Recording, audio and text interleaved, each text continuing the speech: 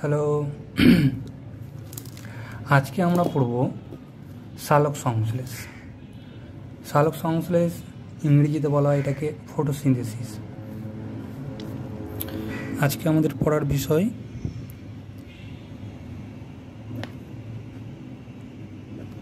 সালোক সংশ্লেষ। এই যে সালোক সংশ্লেষ আছে, সেই সালোক সংশ্লেষের মধ্যে সবথেকে জটিল জায়গা যেটা হচ্ছে, সেটা হচ্ছে সালোক সংশ্লেষের প্রক্রিয়া। সালোক সংশ্লেষের প্রক্রিয়াটাই সবথেকে বেশি ইম্পর্টেন্ট ওই জায়গাটা বোঝাটা একটু কঠিন, ঠিক আছে? যেমন সালোক সংশ্লেষ প্রক্রিয়াটিকে অত্যন্ত জটিল প্রক্রিয়া বলা হয়। এই প্রক্রিয়ায় আলোক দশা এবং অন্ধকার দশা দুই ভাগে ভাগ করা হয়েছে এবং আলোক দশার বিভিন্ন ঘটনাগুলো এবং অন্ধকার দশার বিভিন্ন ঘটনাগুলো সম্পূর্ণ হওয়ার পর আমাদের গ্লুকোজ তৈরি হয়। এবং তার আগে আমাদের কিছু কিছু জিনিস জানতে হয়, সেগুলো আমরা হালকা করে একটু দেখে নেব, ঠিক আছে? তারপর আমরা প্রক্রিয়াটা পড়ব। অ্যাকচুয়ালি আমাদের সালোক সংশ্লেষের প্রক্রিয়াটাই আসল বোঝার জিনিস, ঠিক আছে? তাছাড়াও বইয়ের মধ্যে যে কিছু দেওয়া থাকে, সেগুলো আমরা এরকম পড়লেই বুঝতে পারব।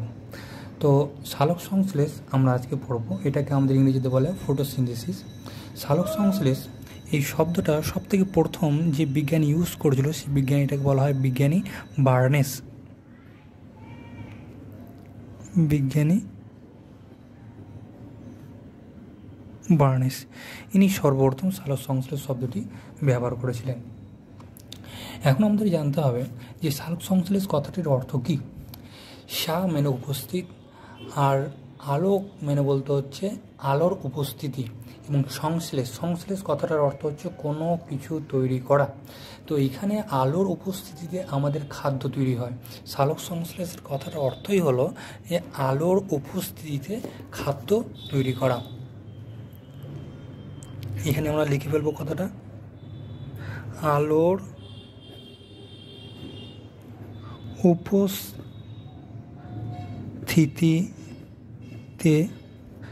খাদ্য তৈরি করা। খাদ্য তৈরি করা। এটাকে আমরা সাধারণত বলে থাকি শালক সংশ্লেষের অর্থ। আলোর উপস্থিতিতে খাদ্য তৈরি করা।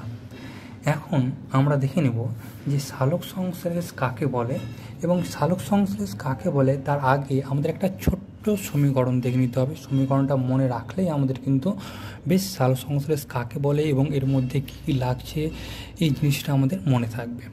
তো এই সমীকরণটা দেখার জন্য সব থেকে আমরা দেখব যে সালোক সংশ্লেষ প্রক্রিয়ায় সব থেকে প্রথমে গাছ পরিবেশ থেকে দুটো জিনিস সংগ্রহ করে। একটা হচ্ছে বাতাস থেকে গ্রহণ করে কার্বন ডাইঅক্সাইড। বাতাস থেকে গ্রহণ করে কার্বন ডাইঅক্সাইড এবং দ্বিতীয় মাটি থেকে স্থলজ উদ্ভিদ, সাধারণত মাটি থেকে শোষণ করে আমাদের জল। এই কার্বন ডাইঅক্সাইড এবং জল, এই দুটো জিনিস আমাদের গাছ শোষণ করে পরিবেশ থেকে। এরপর এরপর সাধারণত দেখা যায় যে ক্লোরোফিল নিচে আমরা লিখব ক্লোরোফিল কারণ ঘটনাটা ঘটে থাকে পাতার ক্লোরোফিলের মধ্যে, ক্লোরোফিল। এবং উপরে আমরা লিখব সূর্যালোক বা সূর্যের আলো। ঠিক আছে? তো সাধারণত এই চারটে জিনিস আমরা একটু ভালো করে দেখব বা মনে রাখার চেষ্টা করব। ঠিক আছে? এখানে একটু আমরা আলোটা একটু বাড়িয়ে নিই, লাইটটা। হ্যাঁ। এখানে আমরা জিনিসটা দেখছি যে বাতাসের গৃহীত কার্বন ডাইঅক্সাইড এবং মাটি থেকে শোষিত জল, গাছ পাতায় উপস্থিত ক্লোরোফিলে সূর্যালোকের সাহায্যে সূর্যালোকের সাহায্যে এই দুটো আমাদের বিক্রিয়া ঘটাচ্ছে। বিক্রিয়া ঘটে যেটা তৈরি করছে সেটা হচ্ছে আমাদের C six H twelve O six এটাকে আমাদের সাধারণত বলা হয়ে থাকে গ্লুকোজ। এটা হচ্ছে আমাদের গ্লুকোজ। এই গ্লুকোজটা হচ্ছে আমাদের সারক সংশ্লেষের ফলে উৎপন্ন প্রধান বস্তু বা খাদ্য বস্তু, এটাকে আমাদের খাদ্য বলা হয়ে থাকে। এরপর প্রধান বস্তু ছাড়াও আমাদের কিছু উপজাত বস্তু উৎপাদন হয়, সেই উপজাত বস্তুর মধ্যে আমাদের পাই আমরা অক্সিজেন এবং তার সঙ্গে পাই আমরা জল। এই দুটো হচ্ছে আমাদের উপজাত বস্তু, ঠিক আছে? এইবার আমাদের এই সমীকরণের মধ্যে একটা জিনিস করতে হবে, সেই জিনিসটা হচ্ছে যে ব্যালেন্স করতে হবে এই সমীকরণের ব্যালেন্স করতে হবে। কারণ এই দিকে আমাদের কার্বন হাইড্রোজেন অক্সিজেন মানে কার্বন হাইড্রোজেন অক্সিজেনের পরিমাণ যতটা আছে এদিকে কিন্তু আমাদের কার্বন হাইড্রোজেন অক্সিজেন পরিমাণ কম আছে। তাই জন্য কী করতে হবে ব্যালেন্স করতে হবে। সেই ব্যালেন্স অনুযায়ী আমরা মনে রাখব যে অণু গ্লুকোজ উৎপাদন করার জন্য আমাদের লাগে ছয় অণু কার্বন ডাইঅক্সাইড এবং বারো অণু জল। এই ছয় অণু কার্বন ডাইঅক্সাইড বারো অণু জল পাতার ক্লোরোফিলে মানে সালোক সংশ্লেষ প্রক্রিয়াটা স্থান হচ্ছে পাতার ক্লোরোফিলে সূর্যের আলোর উপস্থিতিতে। কারণ এই দুটোর মধ্যে বিক্রিয়া করার জন্য যে শক্তিটা, সেই শক্তিটা দিচ্ছে সূর্যের আলো। তাই জন্য আমরা বলছি সূর্যালোকের সাহায্যে পাতার ক্লোরোফিলে। এক গ্লুকোজ এবং ছয় অণু অক্সিজেন। সেই অক্সিজেনটা পরিবেশে আমাদের নির্গত হয়ে যায়, তার জন্য আমরা উপর দিকে তীরচিহ্ন দিয়ে থাকি এবং উৎপাদন হয় ছয় অণু জল। ঠিক আছে? এই সমীকরণটা আমাদের তৈরি হয়ে গেল। এবার আমরা এই সমীকরণ থেকে বলতে পারব যে সালোক সংশ্লেষ কাকে বলে? সালোক সংশ্লেষ সাধারণত একটি প্রক্রিয়ার নাম, যে প্রক্রিয়া খাদ্য তৈরি হয়। তো আমরা এখন দেখব যে সালোক সংশ্লেষ হচ্ছে একটি প্রক্রিয়া, যে প্রক্রিয়ায় বাতাস থেকে গৃহীত কার্বন ডাইঅক্সাইড এবং মাটি থেকে শোষিত জল গাছের পাতায় ক্লোরোফিলে সূর্যালোকের উপস্থিতিতে। এখনও গ্লুকোজ উৎপাদন করে এবং কার্বন ডাইঅক্সাইডের সম মানে ছয় অণু অক্সিজেন উৎপাদন হয় এবং জল উৎপাদন হয়। সেই প্রক্রিয়াটাকে বলবে আমাদের সালোক সংশ্লেষ। এটা হচ্ছে আমাদের সালোক সংশ্লেষের প্রক্রিয়া। এবং এই সালোক সংশ্লেষের প্রক্রিয়াটা থেকে আমরা আরেকটা জিনিস জানতে পারব যে সালোক সংশ্লেষকে আমাদের জারণ বিজারণ প্রক্রিয়া বলা হয়ে থাকে। ওই যে সালোক সংশ্লেষ তো এটা আমরা সমীকরণ দেখে নিলাম, কীভাবে তৈরি হলো দেখে নিলাম, কিন্তু সালোক সংশ্লেষকে জারণ বিজারণ প্রক্রিয়াটা কেন বলে? সালোক সংশ্লেষকে জারণ বিজারণ প্রক্রিয়া বলার মেন কারণ আমাদের এখানে দেখো কার্বন, হাইড্রোজেন, অক্সিজেন, আর এখানে আছে কার্বন আর অক্সিজেন, ঠিক আছে? তো এই কার্বন ডাই অক্সাইড হাইড্রোজেনের সঙ্গে যুক্ত হয়ে গিয়ে আমাদের তৈরি করে গ্লুকোজ। এই কার্বন ডাই অক্সাইড আমাদের এইভাবে দেখিয়ে দিচ্ছে। এই কার্বন ডাই অক্সাইড ঠিক আছে? আমাদের হাইড্রোজেনের সঙ্গে যুক্ত হয়ে গিয়ে আমাদের তৈরি করে গ্লুকোজ। হাইড্রোজেনের সঙ্গে যুক্ত হওয়ার জন্য একে বলছে বিজারণ বা বিজারিত বিজারিত হয়েছে। তার জন্য এটাকে আমাদের বলছে বিজারণ প্রক্রিয়া। বিজারণ। কার্বন ডাইঅক্সাইড হাইড্রোজেনের সঙ্গে যুক্ত হয়ে গিয়ে বিজারিত হয়ে গিয়ে আমাদের গ্লুকোজ উৎপাদন হয়, তাই জন্য এই প্রক্রিয়াটাকে বলছে আমাদের বিজারণ প্রক্রিয়া। এবং আমাদের এখানে যে জল আছে এস টুও সেই এস টুও ভেঙে যায়, ভেঙে গিয়ে আমাদের উৎপাদন করে এই অক্সিজেন। ভেঙে গিয়ে উৎপাদন করে এই অক্সিজেন। এই অক্সিজেন উৎপাদন করছে জারণ প্রক্রিয়ায়। জারণ প্রক্রিয়ায়। তাই জন্য আমাদের এটাকে বলে সার সংশ্লেষে জারণ বিজারণ প্রক্রিয়া। এখানে জল জারিত হয় এবং কার্বন ডাইঅক্সাইড বিচারিত হয়। ঠিক আছে? এটা হয়ে গেল সাধারণত আমাদের সালোক সংশ্লেষ কাকে বলে কিংবা সালোক সংশ্লেষের কে জারণ বিজারণ প্রক্রিয়া কেন বলা হয়? আমরা এই সমীকরণটা থেকেই বুঝতে পারব, ভালো করে এই জায়গাটা দেখে নিলে আমরা বুঝতে পারব। এটাকেই আমাদের বইয়ে বিভিন্ন ভাষায় লিখে দেওয়া আছে, সালোক সংশ্লেষ কাকে বলে এবং সালোক সংশ্লেষে কী কী লাগে? সাধারণত আমরা এখানে দেখিলাম সালোক সংশ্লেষে কী কী লাগছে। আমাদের চারটি জিনিস, একটা হচ্ছে কার্বন ডাইঅক্সাইড, জল, ক্লোরোফিল এবং সূর্যালোক। ঠিক আছে? তো কার্বন ডাইঅক্সাইড আমরা কীভাবে পাই বাতাস থেকে সেটা তো আমরা জানি। বাতাস বাতাস থেকে গাছের পাতার পত্রন্ত্রের মাধ্যমে কার্বন ডাইঅক্সাইড শোষণ করে এবং জল সেটা মাটি থেকে মূলরমের সাহায্যে জল শোষণ করে এবং সূর্যালোক সূর্যের কাছ থেকে পাই এবার থাকল ক্লোরোফিল এই ক্লোরোফিলটার জন্য আমাদের একটু একটা স্ট্রাকচার দেখতে হবে একটা গঠন দেখতে হবে। সেই গঠনটা হচ্ছে ক্লোরোপ্লাস্টের তাই জন্য আমরা এখন একটু ক্লোরোপ্লাস্টের গঠনটা দেখে নেব। আমাদের ক্লোরোপ্লাস্টের গঠনটা এই জায়গাতে খুব ইম্পর্টেন্ট তাই জন্য আমরা এখন একটু ক্লোরোপ্লাস্টের গঠন দেখে নেব। কারণ ক্লোরোপ্লাস্টের গঠনটা আমাদের সালোক সংশ্লেষের পুরো প্রক্রিয়াটা বোঝার জন্য একটু লাগবে। তো এখন আমরা যেটা দেখব সেটা হচ্ছে আমাদের ক্লোরোপ্লাস্টের গঠন। ক্লোরো প্লাস্ট ক্লোরোপ্লাস্ট আমাদের যে জিনিসটা, সেই জিনিসটা বা আমাদের কোষ অঙ্গাণুটা, এটা কিন্তু শুধুমাত্র উদ্ভিদ কোষের মধ্যেই পাওয়া যায়। প্রাণী কোষে কিন্তু ক্লোরোপ্লাস্টটা পাওয়া যায় না। তো এখন আমরা ক্লোরোপ্লাস্টের যদি ছবি দেখি, সেই ক্লোরোপ্লাস্টের ছবিটা, সেই ক্লোরোপ্লাস্টের ছবিটা ঠিক আমাদের এইভাবে আসবে।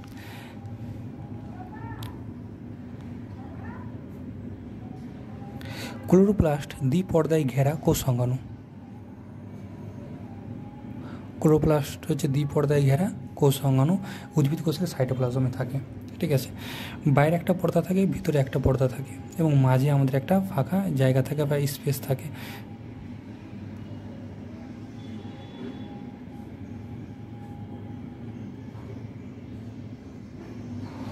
ক্লোরোপ্লাস্ট হচ্ছে আমাদের দ্বিপর্দায় ঘেরা কোষ ঠিক আছে? বাইরেটা বই পর্দা ভিতরেটা হচ্ছে অন্তপর্দা। মাঝে আমাদের ফাঁকা জায়গা থাকছে, সেই ফাঁকা জায়গার মধ্যে এক রকমের সাইটোপ্লাজমীয় পদার্থ থাকে বা তরল ধাত্র থাকে। ঠিক আছে? সাইটোপ্লাজমীয় পদার্থ বা আমাদের তরল জেলির মতন পদার্থ, ধাত্র। ঠিক আছে? সেই পদার্থটাকে বলা হয় আমাদের ধাত্র বা স্ট্রোমা। এস ট্রোমা বা বাংলায় বলা হয় ধাত্র, ঠিক আছে? ক্লোরোপ্লাস্টের ভিতরে। এরপর আমরা ক্লোরোপ্লাস্টের ভিতরে ঠিক এইরকম আকারের থলির মতন অংশ দেখতে পাবো। এই যে ক্লোরোপ্লাস্টের ভিতরে এইরকম আকারের থলির মতন অংশ দেখতে পাচ্ছি আমরা। এই থলির মতন অংশগুলো এরকম করে বেশ কিছু আমরা গঠন দেখতে পাবো। এই যে গঠন, এই গঠনগুলোর এক একটাকে বলে আমাদের থাইলাকয়েড। এক একটাকে বলে থাইলাকয়েড। এই যে একটা, এটাকে বলছে আমাদের থাইলাকয়েড। এরকম থাইলাকয়েড আমাদের সজ্জিত থাকে, সজ্জিত থেকে আমাদের লম্বা লম্বা হয়ে থাকে। এই যে লম্বা লম্বা গঠন, সেই গঠনগুলোকে বলে আমাদের গ্রানা। এটা একটা গ্রানা, এটা একটা গ্রানা, এটা একটা গ্রানা। ঠিক আছে, গ্রানাগুলোর মধ্যে আমাদের আমাদের সংযোগ মিডিয়াম বা আমাদের পাইপের মতন অংশ থাকে, সেগুলোকে বলা আমাদের ল্যামিলি। এরকম আমাদের থাকে, ল্যামিলি। তো আমাদের পুরো এই যে গঠন, সে পুরো গঠনটাকে বলছে আমাদের গ্রানা। এই পুরো গঠনটাকে বলছে আমাদের গ্রানা। এটাকে বলে আমাদের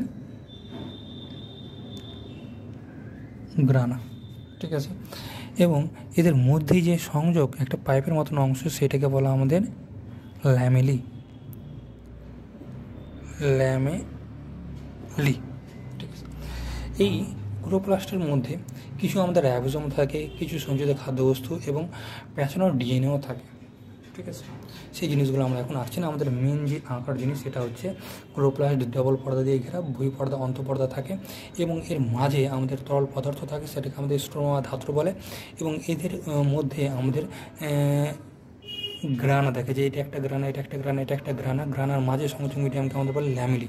এবার গ্রানার উপর এক একটা যে থলির মতন অংশ আছে, এক একটা থলির মতন অংশ নাম হচ্ছে থাইলাকয়েড।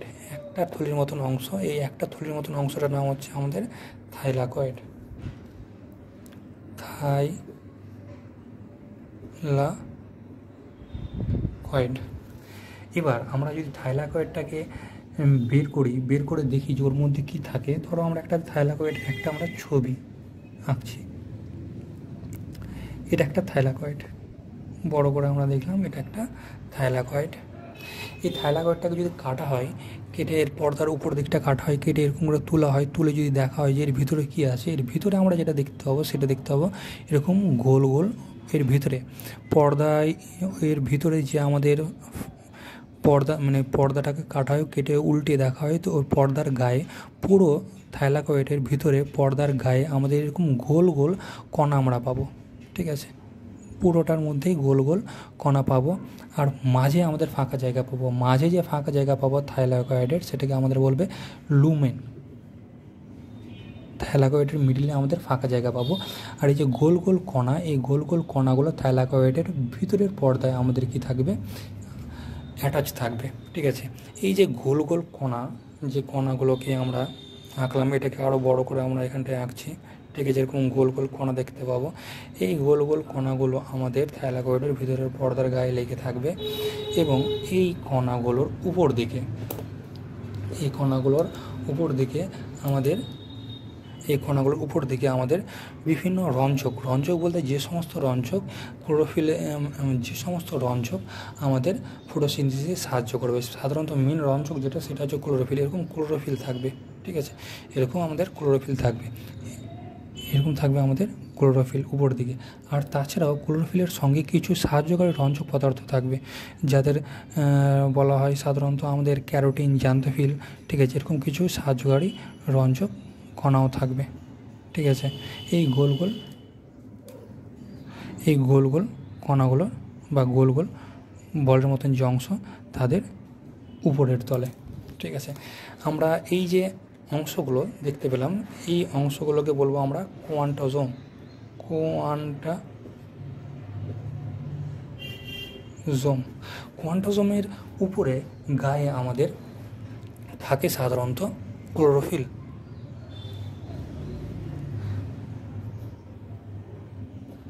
ক্লোরোফিল বা সাহায্যকারী রঞ্জক। ক্লোরোফিল ও সাহায্যকারী রঞ্জক। সাহায্যকারী রঞ্জকের মধ্যে সাধারণত আমরা পেয়ে থাকি। এক নম্বর যেটা হচ্ছে, সেটা হচ্ছে তোমার ধরে নাও ক্যারোটিনয়েডস ক্যারোটিনয়েডস এই ক্যারোটিনয়েডসের মধ্যে দুটো ভাগ পায়। একটা হচ্ছে ক্যারোটিন একটা হচ্ছে জ্যান্থোবিল। আরও একটা পায় সেটা হচ্ছে ফাইকোবিলিন ফাইকো বি লিন সেই ফাইকো বিলিনের মধ্যে আমাদের দুই তিন রকম ভাগ পাই যেমন ফাইকো এরিথ্রিন ফাইকো সায়ানিন ঠিক আছে? এইগুলো হচ্ছে আমাদের সাহায্যকারী রঞ্জক। এগুলো হচ্ছে আমাদের সাহায্যকারী রঞ্জক। ক্যারোটিনয়েডস ফাইকোবিলিন আর প্রধান রঞ্জক হচ্ছে আমাদের ক্লোরোফিল ঠিক আছে, যেগুলো আমাদের এই কন্টাজমের উপর দিকে থাকে। যে কন্টাজমগুলো আমাদের থাইলয়েড পর্দার ভিতরের দিকে গোল গোল অংশের মধ্যে দেখতে পাওয়া যায়। ঠিক আছে? এবার আমরা দেখতে পাচ্ছি যে সাধারণত ক্লোরোপ্লাস্টের গঠন এইটা। ক্লোরোপ্লাস্টের মধ্যে মেন দুটো অংশ, একটা হচ্ছে স্ট্রোমা সেই সাইটোপ্লাজমের মতন তরল ধাতব পদার্থ, আর একটা থাকছে আমাদের গ্রানা গ্রানাগুলো তৈরি হয় অনেকগুলো থাইলাকয়েড নিয়ে।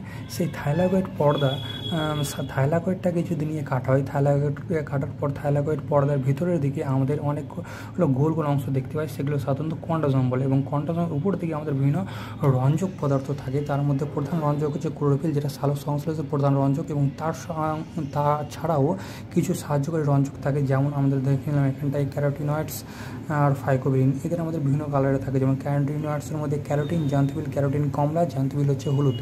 আর ফাইকোবিনের মধ্যে ফাইকো এরিথ্রিন ফাইকোসাইনিন ফাইকো এরিথ্রিন লাল ফাইকোসাইনিন হচ্ছে আমাদের নীল। তো আমাদের সালোক সংশ্লেষের প্রধান রঞ্জক হচ্ছে ক্লোরোফিল যার কালার হচ্ছে সবুজ, আর বাকি কালারগুলো হচ্ছে আমাদের সাহায্য কালার মানে সালোক সংশ্লেষ সাহায্যকারী রঞ্জক বলছে এই জায়গাগুলোতে আমাদের কি হয়? এই রঞ্জকগুলো একত্রে মিলিত হয়ে নির্দিষ্ট কাজ করে। তো এই রঞ্জকগুলো যখন একত্রে মিলিত হয়ে যাচ্ছে, যে সিস্টেমটা গঠন করছে, সেই সিস্টেমটাকে সাধারণত বলা হয় পিএস ওয়ান এবং পিএস টু তো আমরা এখানে দেখে নেব পিএস ওয়ানটা কী আর পিএস টুটা কী? পিএস ওয়ান সাপোজ ধর না আমরা নিলাম এখানটায় পিএস ওয়ান পিএস ওয়ানটাকে বলা হয় ফটো সিস্টেম ওয়ান বা পিগমেন্ট সিস্টেম ওয়ান ঠিক আছে, এই পিগমেন্ট সিস্টেম ওয়ানটা কি? ধরে নিলাম পিগমেন্ট সিস্টেম ওয়ানের মিডিলে আমাদের ক্লোরোফিল থাকল। ক্লোরোফিলের মধ্যে আবার ভাগ আছে chlorophyll A B C D E E F পর্যন্ত ক্লোরোফিলের ভাগ আছে। একদম মিডিলে থাকল ক্লোরোফিল এবার এর চারদিকে ধরো, আমাদের থাকল সাহায্যকারী কিছু রঞ্জক। তার মধ্যে আমাদের কমলা রঙের যেটা থাকল সেটা হচ্ছে ক্যারোটিন কমলা রঙের যেটা থাকল সেটা হচ্ছে ক্যারোটিন ঠিক আছে? তারপর ধরো আমাদের হলুদ রঙের থাকল জ্যান্থোফিল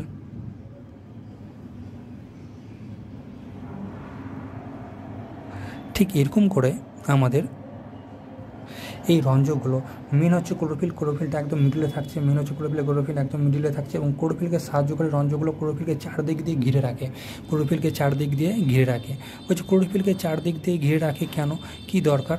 ঠিক আছে, ক্লোরোফিলকে চারদিকে ঘিরে রাখার এর মেন কারণ বা মেন উদ্দেশ্য হলো এরা সবাই মিলে একটা সিস্টেম গঠন করে। সেই সিস্টেমটার কাজ কি? সেই সিস্টেমটার কাজ হলো ক্লোরোফিলের মধ্যে যদি অতিরিক্ত আলো এবং অতিরিক্ত অক্সিজেন পেয়ে যায়, ক্লোরোফিলের মধ্যে যদি অতিরিক্ত আলো বা অতিরিক্ত অক্সিজেন পৌঁছে যায়, তাহলে ক্লোরোফিলটা আমাদের কীভাবে জারিত হয়ে যায়। ক্লোরোফিল এ জারিত হয়ে যায়। ঠিক আছে? এই জন্য সূর্য থেকে যে রশ্মি গিয়ে পড়ে এই সিস্টেমটার চারদিকে আগে যে সাহায্যকারী রঞ্জক আছে, তারা শোষণ করবে। সাহায্যকারী রঞ্জক যারা আছে, তারা শোষণ করবে। তারা যদি শোষণ করে, তার ফলে কী হবে? সূর্যের আলো যেটা আছে, সেটা প্রথমে আমাদের এই সাহায্যকারী রঞ্জকগুলো সাহায্যকারী রঞ্জকগুলো থেকে একে একে যাবে, একে একে যেতে যেতে যেতে যেতে যেতে যেতে, তারপর আমাদের ক্লোরোফিলের কাছে পৌঁছাবে। তার ফলে কী হয় ক্লোরোফিলটা নষ্ট হবে না বা ক্লোরোফিলটা জারিত হবে না। ঠিক আছে? ক্লোরোফিলকে আলোক জারণের হাত থেকে এই সাহায্যকারী রঞ্জক পদার্থগুলো কী করে? আমাদের বাঁচিয়ে তোলে। ঠিক আছে। তাই জন্য সূর্যের যে আলো, সেই আলোটা প্রথমে চারদিকে রঞ্জক পদার্থ আগে শোষণ করে, তারপর পর আমাদের ক্লোরোফিল এ যেটা সেন্টারে সেখানে পাঠায়। ঠিক আছে, তার ফলে কী হয়? বাকি যে কাজটা ঘটার সেটা ঘটতে থাকবে। এবং আরেকটা কথা আমরা মাথায় রাখব যে, সূর্যের আলোর মধ্যে বিভিন্ন তরঙ্গ দৈর্ঘ্য আমরা পাই, তার মধ্যে পিএস ওয়ান যেটা, তার পিএস ওয়ানটা আমাদের শোষণ করে সাতশো ন্যানোমিটার তরঙ্গের দৈর্ঘ্যের সূর্যের আলো। ঠিক আছে, ঠিক ওইরকম করে আরেকটা আমরা সিস্টেম পাবো, সেটা হচ্ছে পিএস টু পিএস টু সে পিএস টুটা আমাদের শোষণ করে ছশো আশি ন্যানোমিটার তরঙ্গ দৈর্ঘ্য পিএস টু এবং ঠিক ওইরকমভাবে পিএস টু এর চারদিকেও আমাদের বিভিন্ন ক্লোরোফিল থাকে। ক্লোরোফিল তো চার পাঁচটা ভাগ আছে। Chlorophyll A B C D middle ধরে নাও এ চারদিকে বি সি ডি আরও কিছু আছে। এবং তার সঙ্গেও আমাদের বিভিন্ন কালারের রঞ্জক পদার্থ যেমন ক্যারোটিন জ্যান্তফিল এই সমস্ত আছে। তারা কী করে? তাই ঘিরে রাখে। এর ফলে কী হয়? এরা একটা সিস্টেম বা পিগমেন্ট সিস্টেম বা রঞ্জক তন্ত্র তৈরি করে। সেই রঞ্জক তন্ত্রগুলোর মেন কাজ হলো মিডিলে যে আমাদের ক্লোরোফিল আছে, সেই ক্লোরোফিলকে মানে ক্লোরোফিল একে ক্লোরোফিল এর কাছে যদি আলো, অতিরিক্ত সূর্যের আলো এবং অক্সিজেন পৌঁছে তাহলে কিন্তু ওটা জারিত হয়ে যাবে। তার ফলে কী হবে ক্লোরোফিল নষ্ট হয়ে যাবে এবং ক্লোরোফিল যদি নষ্ট হয়ে যায় তাহলে কিন্তু আমাদের সালোক সংশ্লেষ হবে না বা ঘটবে না।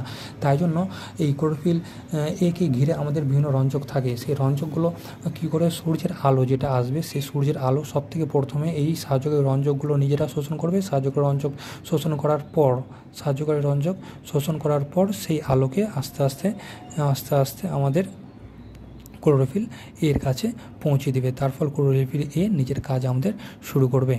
ঠিক আছে? এরকম করে। এখানে যে সূর্যের আলো শোষিত হয় সেটা হচ্ছে ছশো আশি ন্যানোমিটার তরঙ্গ দৈর্ঘ্য আমাদের শোষণ করে। ঠিক আছে? আমাদের এই জায়গাটা একটু মাথায় রাখব। Pigment system one, pigment system two. এটা সাধারণত আমাদের এই ক্লোরোপ্লাস্টের গঠন, ক্লোরোপ্লাস্টের গঠনের মধ্যে গ্রানা স্টোমটা মাথায় রাখব।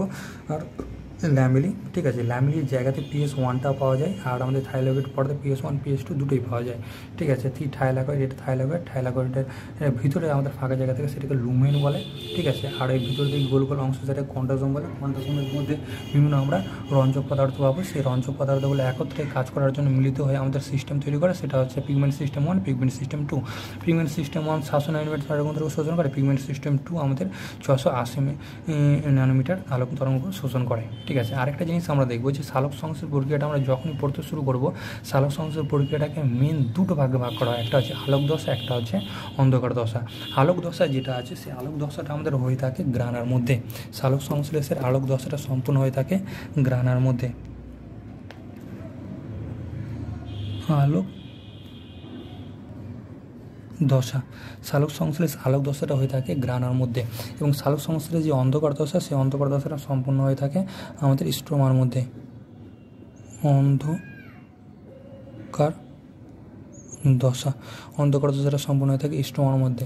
প্রথমে আলোক দশা হয় গ্রানার মধ্যে। গ্রানার মধ্যে হওয়ার কারণ কারণ থাইলয়েড থাইলয়েডের মধ্যে আমাদের বিভিন্ন রঞ্জক, ক্লোরোফিল। ক্লোরোফিল আমাদের সূর্যের আলোক শোষণ করে তাই জন্য। আর অন্ধকার দশাটা হয়ে থাকে স্টোমার মধ্যে। অন্ধকার দশা সম্পূর্ণ হয়ে গেলেই কিন্তু আমরা গ্লুকোজ বা খাদ্যবস্তু পেয়ে যাব। তো এখন আমরা সালোক সংশ্লেষের দুটি দশা আলোক দশা, অন্ধকার দশা শুরু করার আগে এই জিনিসগুলো আমাদের জানার দরকার। এগুলো আমরা একটু জেনে নিলাম।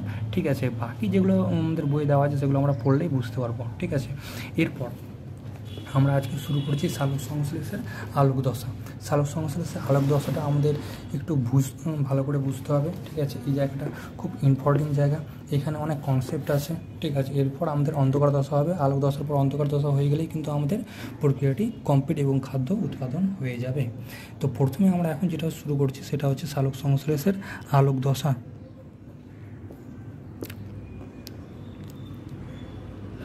সালোক সংশ্লেষ এর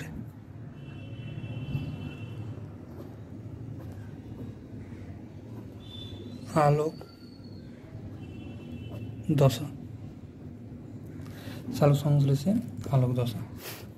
আলোক দশাটা আমাদের পড়তে খুবই ভালো লাগবে, কিন্তু আমাদের স্টেপ বাই স্টেপ বুঝতে হবে, এর মধ্যে অনেক কিছু জিনিস আমাদের আছে, ঠিক আছে?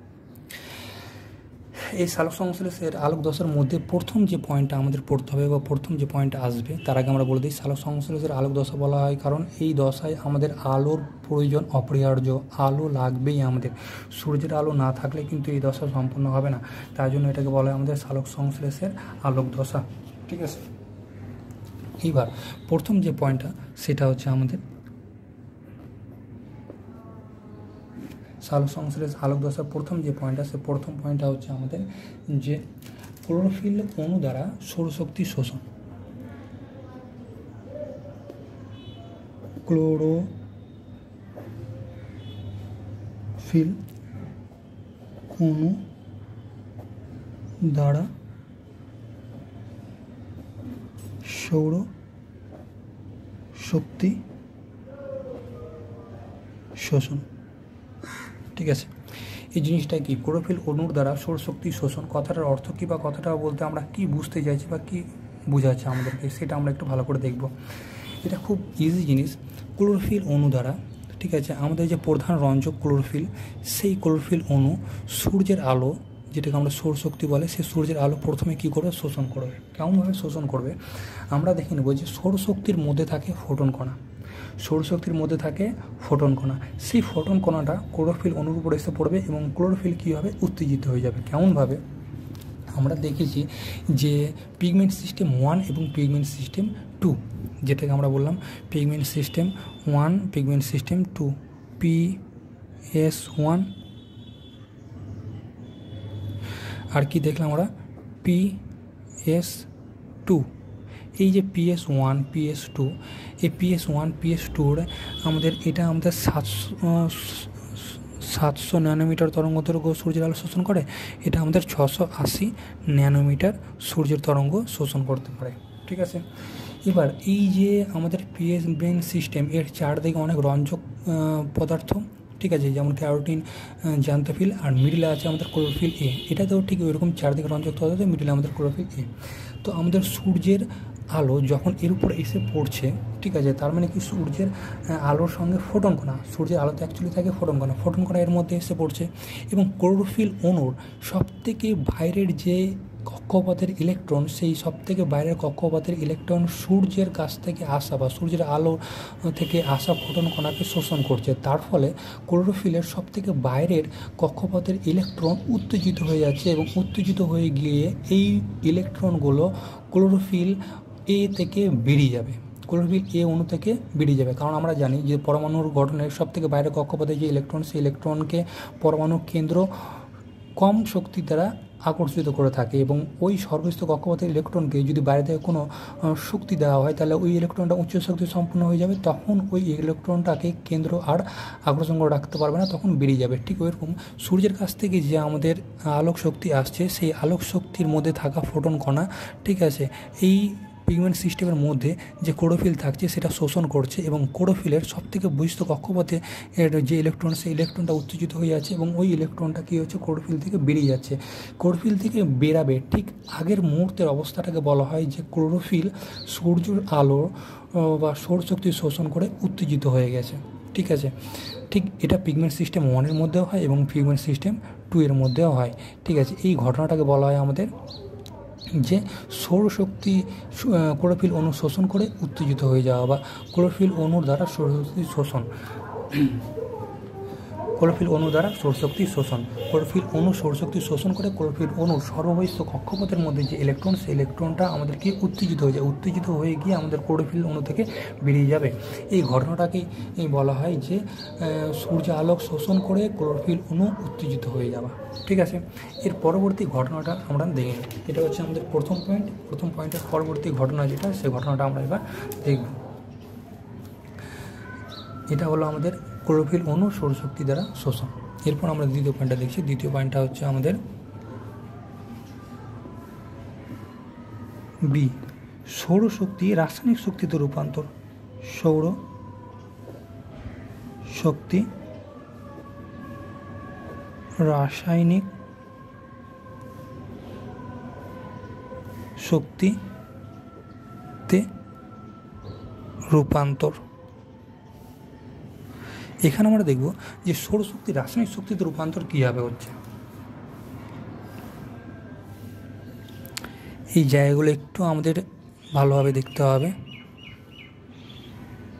দ্বিতীয় পয়েন্ট যেটা, সেটা হচ্ছে সৌরশক্তি রাসায়নিক শক্তিতে রূপান্তর। সৌরশক্তি রাসায়নিক শক্তিতে কীভাবে রূপান্তরিত হয়? সৌরশক্তি রাসায়নিক শক্তিতে রূপান্তরিত হয় যে প্রক্রিয়াটির মাধ্যমে। সে প্রক্রিয়াটিকে আমরা বলি ফোটো ফসফরাইলেশন ফোটো ফস, ফো, রাই, লেশন। এবার এই ফোটো ফসফোলেশনটা কি? সাপোজ আমরা এখানে বলব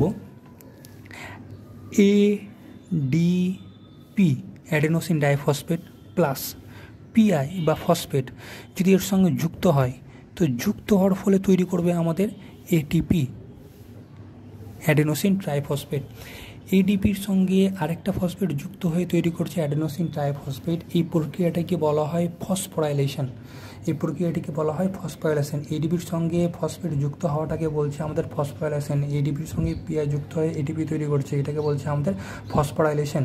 এবং আরেকটা জিনিস এখানে মাথায় রাখব যে এডিপির সঙ্গে যে পিআই যুক্ত হচ্ছে পিআই যুক্ত হওয়ার জন্য এখানে যে শক্তিটা প্রয়োজন, সেই শক্তিটা আসে আমাদের সূর্যের কাছ থেকে বা সূর্যের শক্তিটাই আমাদের এখানে ব্যবহৃত হয়। তাই জন্য আমাদের এই প্রক্রিয়াটাকে বলছে আমাদের সূর্যালোক। এই সূর্যের শক্তি এখানে ব্যবহৃত হয়, তাই জন্য এটাকে বলছে আমাদের ফোটো ফসফোরাইলেশন এটাকে বলছে ফোটো ফসফোরাইলেশন ফোটো মানে সূর্যের আলো ফসফোরাইলেশন মানে হচ্ছে ফসফেট যুক্ত ফসফেট যুক্ত হয়ে আমাদের এটিপি তৈরি হচ্ছে, আর এটার জন্য যে শক্তি, সেই শক্তিটা দিচ্ছে আমাদের সূর্য তাই জন্য এটাকে বলছে আমাদের ফোটো ফসফোরাইলেশন ফোটো ফসফোরাইলেশনের মাধ্যমে সৌরশক্তি, রাসায়নিক শক্তিতে রূপান্তরিত হয়। ফোটো ফসফোরাইলেশনের মাধ্যমে সৌরশক্তি কী হচ্ছে? রাসায়নিক শক্তিতে রূপান্তরিত হচ্ছে।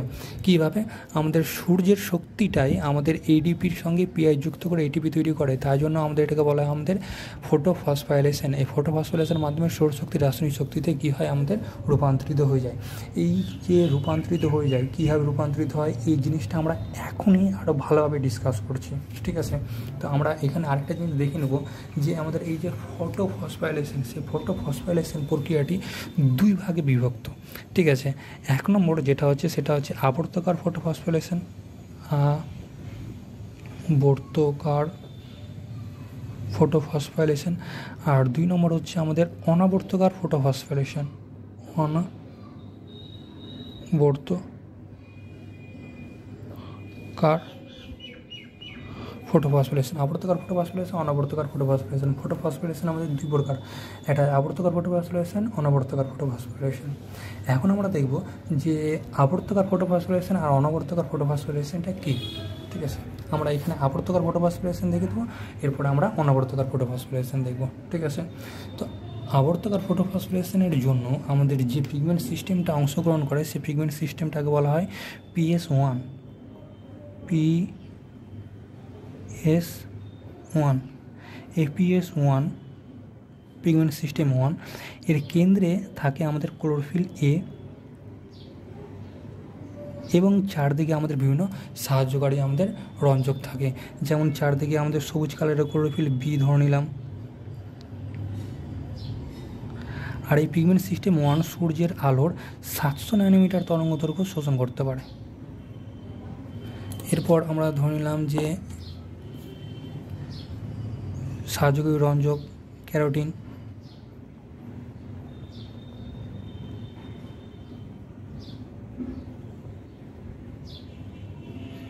এগুলো হচ্ছে আমাদের সাহায্যকারী রঞ্জক। তারপরে ধরুন আমরা জ্যান্থবিল। এইগুলো সাহায্যকারী রঞ্জক, ক্লোরোফিল একে চারদিক দিয়ে ঘিরে রাখে। এরা সূর্যের আলো প্রথমে শোষণ করবে, তারপর ক্লোরোফিলের মধ্যে বা ক্লোরোফিল এ অণুর মধ্যে প্রেরণ করবে। তার ফলে কী ক্লোরোফিল ওই অণুটা আমাদের জারিত হবে না, আলোর দ্বারা। ঠিক আছে? তো এর মধ্যে পিএস ওয়ান, যেটা আমাদের সাতশো ন্যানোমিটার তরঙ্গ দৈর্ঘ্য আমাদের শোষণ করে, সেই এর উপর সূর্যের আলো বা সৌরশক্তি, সাতশো ন্যানোমিটার সৌরশক্তি গিয়ে পড়ল। তার ফলে এর ভিতরে যে ক্লোরোফিল এ অণু আছে কেন্দ্রে, সেই ক্লোরোফিল এ অণুটা, ঠিক আছে আলোক শক্তি করে এরকম এরকম করে গেল, এরকম এরকম করে গিয়ে, এরকম করে গিয়ে সেন্ট্রালে পৌঁছালো, এর কাছে গিয়ে পৌঁছালো, ঠিক আছে। এর ফলে এর ভিতরে যে ক্লোরোফিল এ অণু আছে, সেই ক্লোরোফিল এ অণু সূর্যের আলো বলতে কি ফোটন কণা? সূর্যের আলোর মধ্যে আসলে কি থাকে? ফোটন কণা থাকে। ফোটন কণা থাকে। সেই ফোটন ফোটন কণা থাকে। সেই ফোটন কণা শোষণ করল ক্লোরোফিল এ অণু এবং ক্লোরোফিল এ অণুর সর্বস্থ কক্ষপথের যে ইলেকট্রন, সেই ইলেকট্রন ফোটন কণার শক্তি শোষণ করে উচ্চ শক্তি সম্পূর্ণ হয়ে গেল এবং ক্লোরোফিল এ অণু থেকে ইলেকট্রনটা কী হবে? উত্তেজিত হয়ে যায়, উত্তেজিত হয়ে বেরিয়ে যাবে। বেরানোর ঠিক আগের মুহূর্তটাকে আমরা বলব যে ক্লোরোফিল এ আমাদের উত্তেজিত হয়ে গেছে বা সক্রিয় হয়ে গেছে। সেই জিনিসটাকে আমরা এইভাবে চিহ্নিত করব।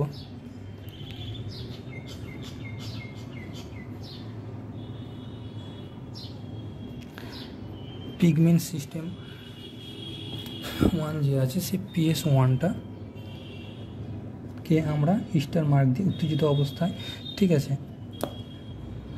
সাতশো ন্যানোমিটার আমরা এখানে লিখে দেবো। ফোটন কণা সূর্যের আলো শোষণ করে পিএস ওয়ান উত্তেজিত হয়ে গিয়ে আমাদের ঠিক এরকম অবস্থায় চলে এসছে। এই অবস্থাটাকে আমরা এই জন্য লিখব কারণ এরপর এর ভিতরে যে সর্বস্থ ইলেকট্রন সেই ইলেকট্রনটা বেরিয়ে যাবে। ঠিক আছে? এরপর এখান থেকে যদি ইলেকট্রনটা বের হয়, তাহলে কি হবে? যে আমাদের ইলেকট্রনটা এখান থেকে বেরাবে, বেরিয়ে আমাদের প্রথমে যে ইলেকট্রন বাহক থাকবে, সেই ইলেকট্রন বাহকটার নাম হচ্ছে ফেরিডক্সিন যেটাকে আমাদের এফডি দিয়ে চিহ্নিত করি। ঠিক আছে? ধরো এখান থেকে ইলেকট্রনটা বেরালো, দুটো ইলেকট্রন বেরাবে, দুটো ইলেকট্রন বেরালো, বেরিয়ে আমাদের এইভাবে ইলেকট্রনটা নিজের শক্তি ছাড়লো, শক্তি ছাড়তে ছাড়তে প্রথম ইলেকট্রন বাহক আমাদের ফেরিডক্সিনের কাছে আসলো। তারপর ফেরিডক্সিনের কাছ থেকে আমাদের দ্বিতীয় ইলেকট্রন বাহক, সেটাকে আমাদের বলব পিকিউ প্লাস্টোকুইনন ঠিক আছে? তারপর আমাদের যেটা আসবে, সেটা হচ্ছে আমাদের সাইটোক্রোম সিওয়াইটি সাইটোক্রোম। তারপরে যার কাছে আসবে, সেটাকে আমরা বলব প্লাস্টো সাইনিন এগুলো হচ্ছে আমাদের ইলেকট্রন বাহক, ফ্রিডক্সিন এফডি প্লাস্টোকুইনিয়ন, পিকো, আমাদের সাইটোক্রোম এবং প্লাস্টোসাইনিন। এগুলো হচ্ছে আমাদের ইলেকট্রন বাহক। তো প্রথমে আমাদের ইলেকট্রনটা এখান থেকে আমাদের উত্তেজিত অবস্থা হওয়ার পিগমেন্ট সিস্টেম থেকে আমাদের বেরিয়ে আমাদের ফেডক্সিনের মধ্যে আসবে। তারপর ফেডক্সিন থেকে আবার ইলেকট্রন নিজের শক্তি যে, ওর মধ্যে যে অতিরিক্ত শক্তি, সেই শক্তিগুলো ছাড়তে ছাড়তে আমাদের প্লাস্টক ইউনিয়নের মধ্যে, সে প্লাস্টক ইউনিয়ন থেকে আবার সেই দুটো ইলেকট্রন শক্তি ছাড়তে ছাড়তে আমাদের সাইটোক্রমের মধ্যে সাইটোক্রম থেকে আবার সেই ইলেকট্রনটা আমাদের চারদিকে পরিবেশের মধ্যে মানে চারদিকে পরিবেশের শক্তি ছাড়তে ছাড়তে আমাদের প্লাস্টক ইউনিয়ন প্লাস্টক ইউনিয়নের মধ্যে যখন চলে আসলো, তখন দেখা যাচ্ছে যে, এইখান থেকে যখন ইলেকট্রনটা বেরাচ্ছিলো, ওর মধ্যে যতগুলো শক্তি, সেই শক্তিগুলো আমাদের একটার পর একটা ইলেকট্রন বাহকের মধ্যে দিয়ে যাওয়ার সময় শক্তিগুলো ছেড়ে দিয়েছে, শক্তিগুলো ছাড়তে ফলে, ছাড়ার ফলে ওর মধ্যে এখন শক্তির পরিমাণ খুবই কম, ঠিক আছে? তার ফলে পিকিউ পিসি থেকে যখন বেরাচ্ছে, ওর মধ্যে একদম শক্তি হারিয়ে যাচ্ছে। তার ফলে কী হচ্ছে যেখান থেকে ইলেকট্রন দুটো বেরিয়েছিল, আবার সেই জায়গাতেই আবার কী হচ্ছে? আমাদের ফিরে চলে আসছে ইলেকট্রনটা সেই জায়গাতে আবার কী হচ্ছে? ইলেকট্রনটা নিজের শক্তি হারিয়ে দিয়ে ফিরে চলে আসছে। নিজের শক্তি হারিয়ে দিয়ে ফিরে চলে আসছে, ঠিক আছে? এই যে চক্রাকারে ইলেকট্রন নির্গত হচ্ছে ইলেকট্রন নির্গত হয়ে গিয়ে আবার বিভিন্ন ইলেকট্রন বাহকের মাধ্যমে নিজের শক্তি ছেড়ে দিয়ে নিম্ন শক্তি, উচ্চ শক্তি সম্পন্ন থেকে নিম্ন শক্তি সম্পন্ন হয়ে আগের অবস্থায় ফিরে আসছে। এই ঘটনাটাকে বলছে আমাদের চক্রাকার। এবং চক্রাকারের সঙ্গে ফটোফসফোলেশনের কী সম্পর্ক? চক্রাকারের সঙ্গে ফটোফসফোলেশনের সম্পর্কটা হচ্ছে যে ফেরিডক্সিনের জায়গায় ইলেকট্রনটা যখন আসছে, তখন যে ইলেকট্রনটা নিজের শক্তি ছাড়ছে, সেই ছাড়া শক্তিটাকে আমাদের এডিপি আর পিআই ধরে নিয়ে আমাদের তৈরি করছে এটিপি আমরা জানি এটিপি তৈরি হওয়াটাকে ফসফোরাইলেশন বলে। আর এটার জন্য যে শক্তিটা, সেই শক্তি কে ছাড়ছে? ইলেকট্রন ছাড়ছে। ইলেকট্রনের মধ্যে শক্তিটা কোথা থেকে এসেছিল? ইলেকট্রনের মধ্যে শক্তিটা এসেছিল সূর্যের ফোটন কণা। সূর্যের ফোটন কণা গিয়ে পড়ল আমাদের পিগমেন্ট সিস্টেমের মধ্যে। পিগমেন্ট সিস্টেমের সব থেকে বাইরে কক্ষপথ ইলেকট্রন সেটার উচ্চ শক্তি সম্পন্ন হয়ে গেল। তার ফলে গিয়ে উত্তেজিত হলো, উত্তেজিত হয়ে গিয়ে বেরিয়ে গেল। ওই যে শক্তিটা এবার চারদিকে ছাড়ছে, সেই শক্তিটা কিন্তু আসবে তাহলে সূর্যের শক্তি। সেই সূর্যের শক্তিটা ধরে নিয়ে যখন আমাদের ফেডক্সিন থেকে বেরাচ্ছে, তখন সেই শক্তিটাকে ধরে নিয়ে এডিপি আর পিআই যুক্ত এটিপি তৈরি করছে। এটিপি তৈরি করাটাকে আমাদের বলে ফসফোরাইলেশন আর এটার জন্য যে শক্তিটা সে ইলেকট্রন ছাড়ছে, আসলে ইলেকট্রন শক্তিটা হচ্ছে সূর্যের আলো। তার জন্য এটাকে আমাদের বলে ফোটোফসফোরেশন এই এটা এখানে আমাদের ফোটোফসফোরেশন হচ্ছে, আরেকটা আমাদের ফোটোফসফোরেশন হচ্ছে ঠিক সাইটোক্রোমের জায়গাতে। এখানে কী হয়? এডিপি প্লাস পিআই যুক্ত হয়ে গিয়ে তৈরি করা আমাদের এটিপি অ্যাডনোসিন ট্রাই ফসফেট ঠিক আছে? তো এখানে আমরা দেখছি যে ইলেকট্রনটা যখন একটা বাহক থেকে আরেকটা বাহকের মধ্যে যাচ্ছে, ওই নিজের শক্তিটা ছাড়ছে। যে শক্তিটা ছাড়ছে, সেই শক্তিটা ধরে নিয়ে পিআই আর এডিপি যুক্ত হয়ে এটিপি তৈরি করছে। তার জন্য এটাকে আমাদের বলছে ফটোফসফোলেশন এই ফটোফসফোলেশন দুটো হচ্ছে। এই ফটোফসফোলেশন হওয়ার জন্য এই চক্রাকারটাকে বলছে আমাদের চক্রাকার ফটোফসফোলেশন ঠিক আছে? এটা হচ্ছে আমাদের চক্রাকার ফটোফসফোলেশন এই চক্রাকার ফটোফসফোলেশনে আমাদের দুই অণু এটিপি তৈরি হয়। দুই অণু এ টিপি তৈরি হচ্ছে। ঠিক আছে? এবং এই চক্রাকার ফটোফসফোরেশনটা আমাদের থাইলাকয়েড পর্দায় হয় কিংবা আমাদের থাইলাকয়েড পর্দার মাঝে আমাদের যে ল্যামিলি আছে সেই ল্যামিলির মধ্যেও আমাদের এই পিএস ওয়ানটা পাওয়া যায়। তাই জন্য এটা আমাদের পিএস ওয়ান আবর্তকার ফটোফসফোরেশন ঘটায়। এই আবর্তকার ফটোফসফোরেশনে আমাদের পিএস ওয়ানই শুধু অংশগ্রহণ করে। এটাকে আমাদের বলে আবর্তকার ফটোফসফোরাইলেশন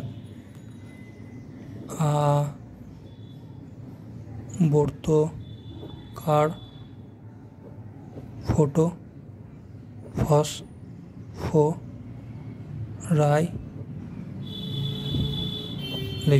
ঠিক আছে এই জায়গাটা আমাদের বুঝে নিতে হবে যেটা হচ্ছে আবর্তকার ফোটো ফসফোরাইলেশন ফসফোরাইলেশনের মধ্যে প্রথম। আর এখানে কি হচ্ছে সৌরশক্তি রাসায়নিক শক্তিতে রূপান্তর। সৌরশক্তি রাসায়নিক শক্তিতে রূপান্তর হচ্ছে কী হবে? সূর্যের আলো সূর্যের আলো, ইলেকট্রন থেকে বেরাচ্ছে, সেইটাকে ধরে নিয়ে তৈরি করছে এটিপি তার মানে এটিপির মধ্যে সূর্যের শক্তিটা কি থাকছে? আমাদের সঞ্চিত থাকছে। যখনই সূর্যের শক্তিটা এটিপির মধ্যে আবদ্ধ হয়ে যাচ্ছে, এই ঘটনাটাকে বলছি আমরা যে সৌরশক্তি রাসায়নিক শক্তিতে রূপান্তর। তারপর আমরা এটিপিকে প্রয়োজন মতন ব্যবহার করে আমরা শক্তিটাকে প্রয়োজন মতন ইউজ করতে পারি। ঠিক আছে? আসলে এটিপি তৈরি হওয়াটাই হচ্ছে আমাদের সৌরশক্তি রাসায়নিক শক্তিতে রূপান্তর। আর রূপান্তর হওয়ার দুটো পদ্ধতি আছে। একটা আছে চক্রাকারে, এটাকে আমাদের চক্রাকারে বলছে, তার জন্য এটাকে আমাদের বলছে আবর্তকার ফটোফসফোরেশন এর মাধ্যমে সৌরশক্তি রাসায়নিক শক্তি রূপান্তরিত হয়। আরেকটা হচ্ছে আমাদের অচক্রাকার। অচক্রাকার যেটা আছে, সেটা একটু বড়, এটার থেকে। আমরা এখন দেখব যেটা, সেটা হচ্ছে আমাদের অচক্রাকার ফটো ফসফাইলেশন চক্রাকার এটা হলো, এবার আমরা দেখব যে অচক্রাকার ফটো ফসফাইলেশন অচক্রাকার যে ফটো ফসফাইলেশন সে ফটো ফসফাইলেশনটা আমাদের একটু বড় হবে, কিন্তু আমাদের বুঝে নিলে খুব ইজি মনে হবে, ঠিক আছে? এখানে আমরা অচক্রাকার যে ফটো ফসফাইলেশন সেখানটাই আমাদের প্রথমে পিগমেন্ট সিস্টেম টু আর এখানে আবার পিগমেন্ট সিস্টেম ওয়ান দুটোই অংশগ্রহণ করবে। অচক্রাকার ফটোফসফোরেশনে পিগমেন্ট সিস্টেম টু এবং পিগমেন্ট সিস্টেম ওয়ান দুটোই আমাদের কী করে অংশগ্রহণ করে। এদের দুজনের মিডিলে আমাদের ক্লোরোফিল অণু থাকে, ঠিক আছে? ক্লোরোফিল অণু মেন ঠিক আছে? এর চারদিকে ধরে নিলাম আমরা অন্যান্য ক্লোরোফিল অণু বি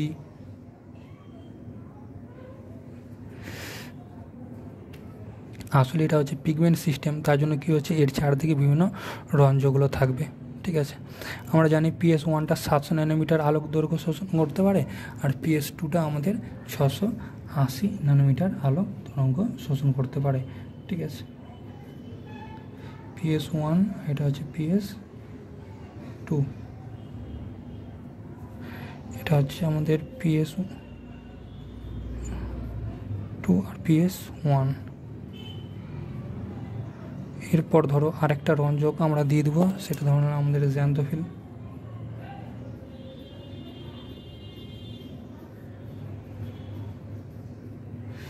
আমাদের এই প্রক্রিয়াটা যথেষ্ট বড়, আমরা স্টেপ বাই স্টেপ শুধু দেখব, পড়ব, ঠিক আছে? তাহলেই কিন্তু আমরা আস্তে আস্তে বুঝতে পারব। আমাদের এই যে পয়েন্ট আমরা যে এখন লিখছি সেই পয়েন্টগুলো মাথায় রাখবে। বিভিন্ন বইয়ে পয়েন্টগুলো বিভিন্ন রকম করে দেওয়া থাকে, কিন্তু আমি যেভাবে লিখছি, সেইভাবে যদি পয়েন্টগুলো মনে রাখো, তো অনেক মনে থাকতে সুবিধা হবে, ঠিক আছে? এবং তোমাদের সবার হেল্প হবে। তো প্রথমে আমরা এখানে দেখে নিই যে পিএস টু এবং পিএস ওয়ান পিএস টু দিয়ে আমরা শুরু করছি, ঠিক আছে?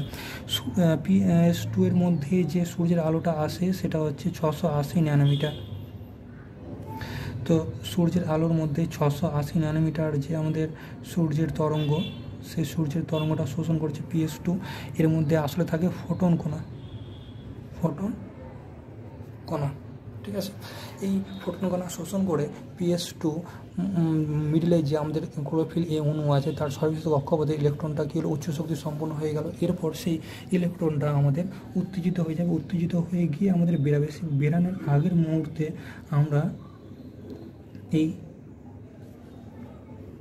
পিএস টুটাকে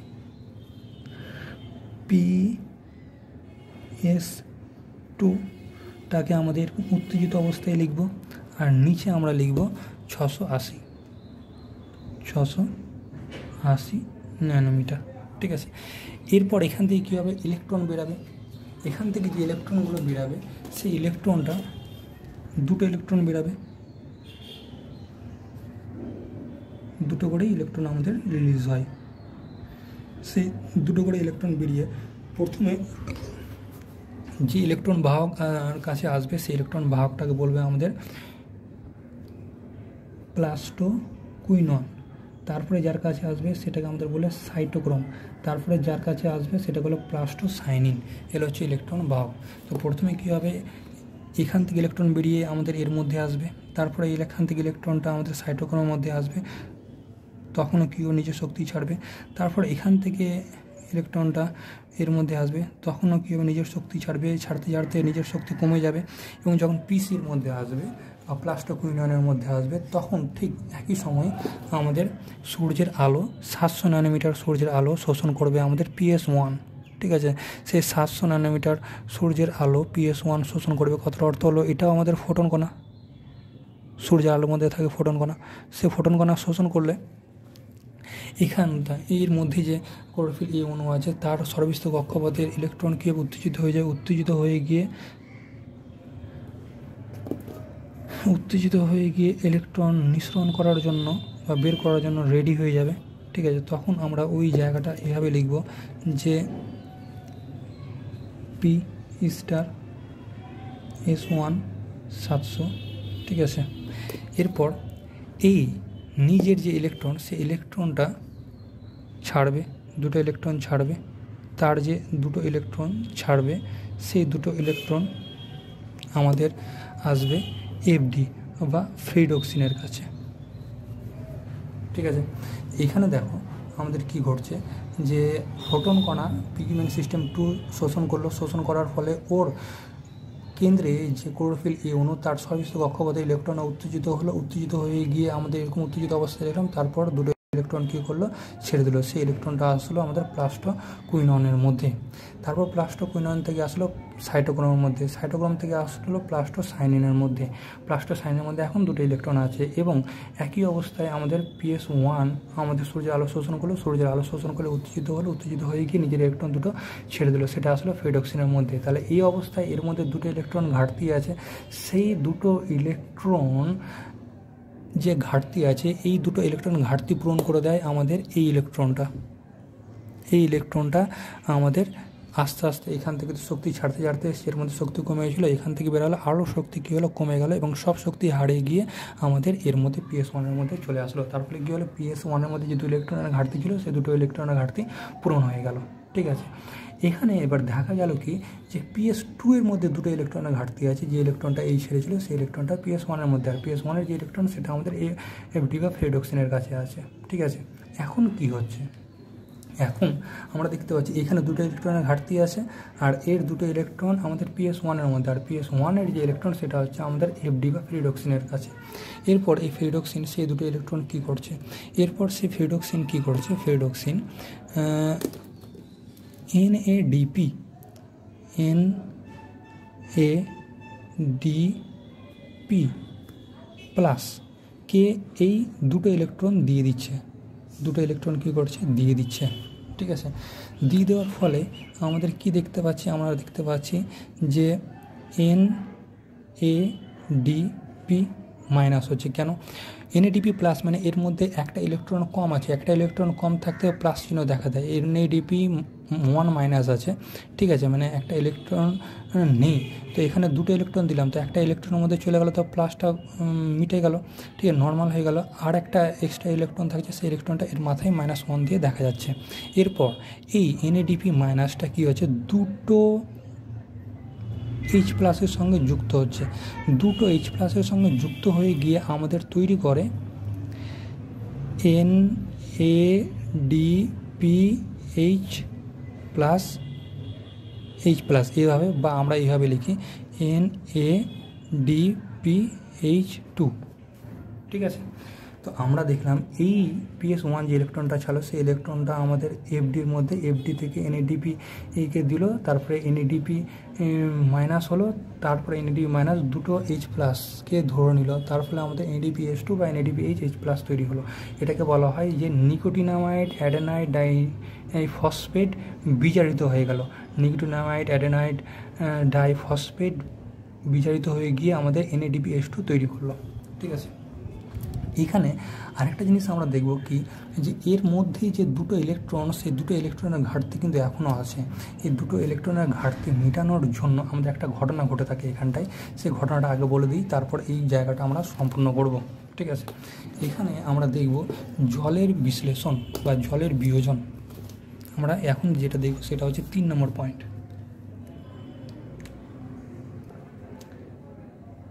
জলের বিয়োজন বা ফটোলাইসিস। ফটো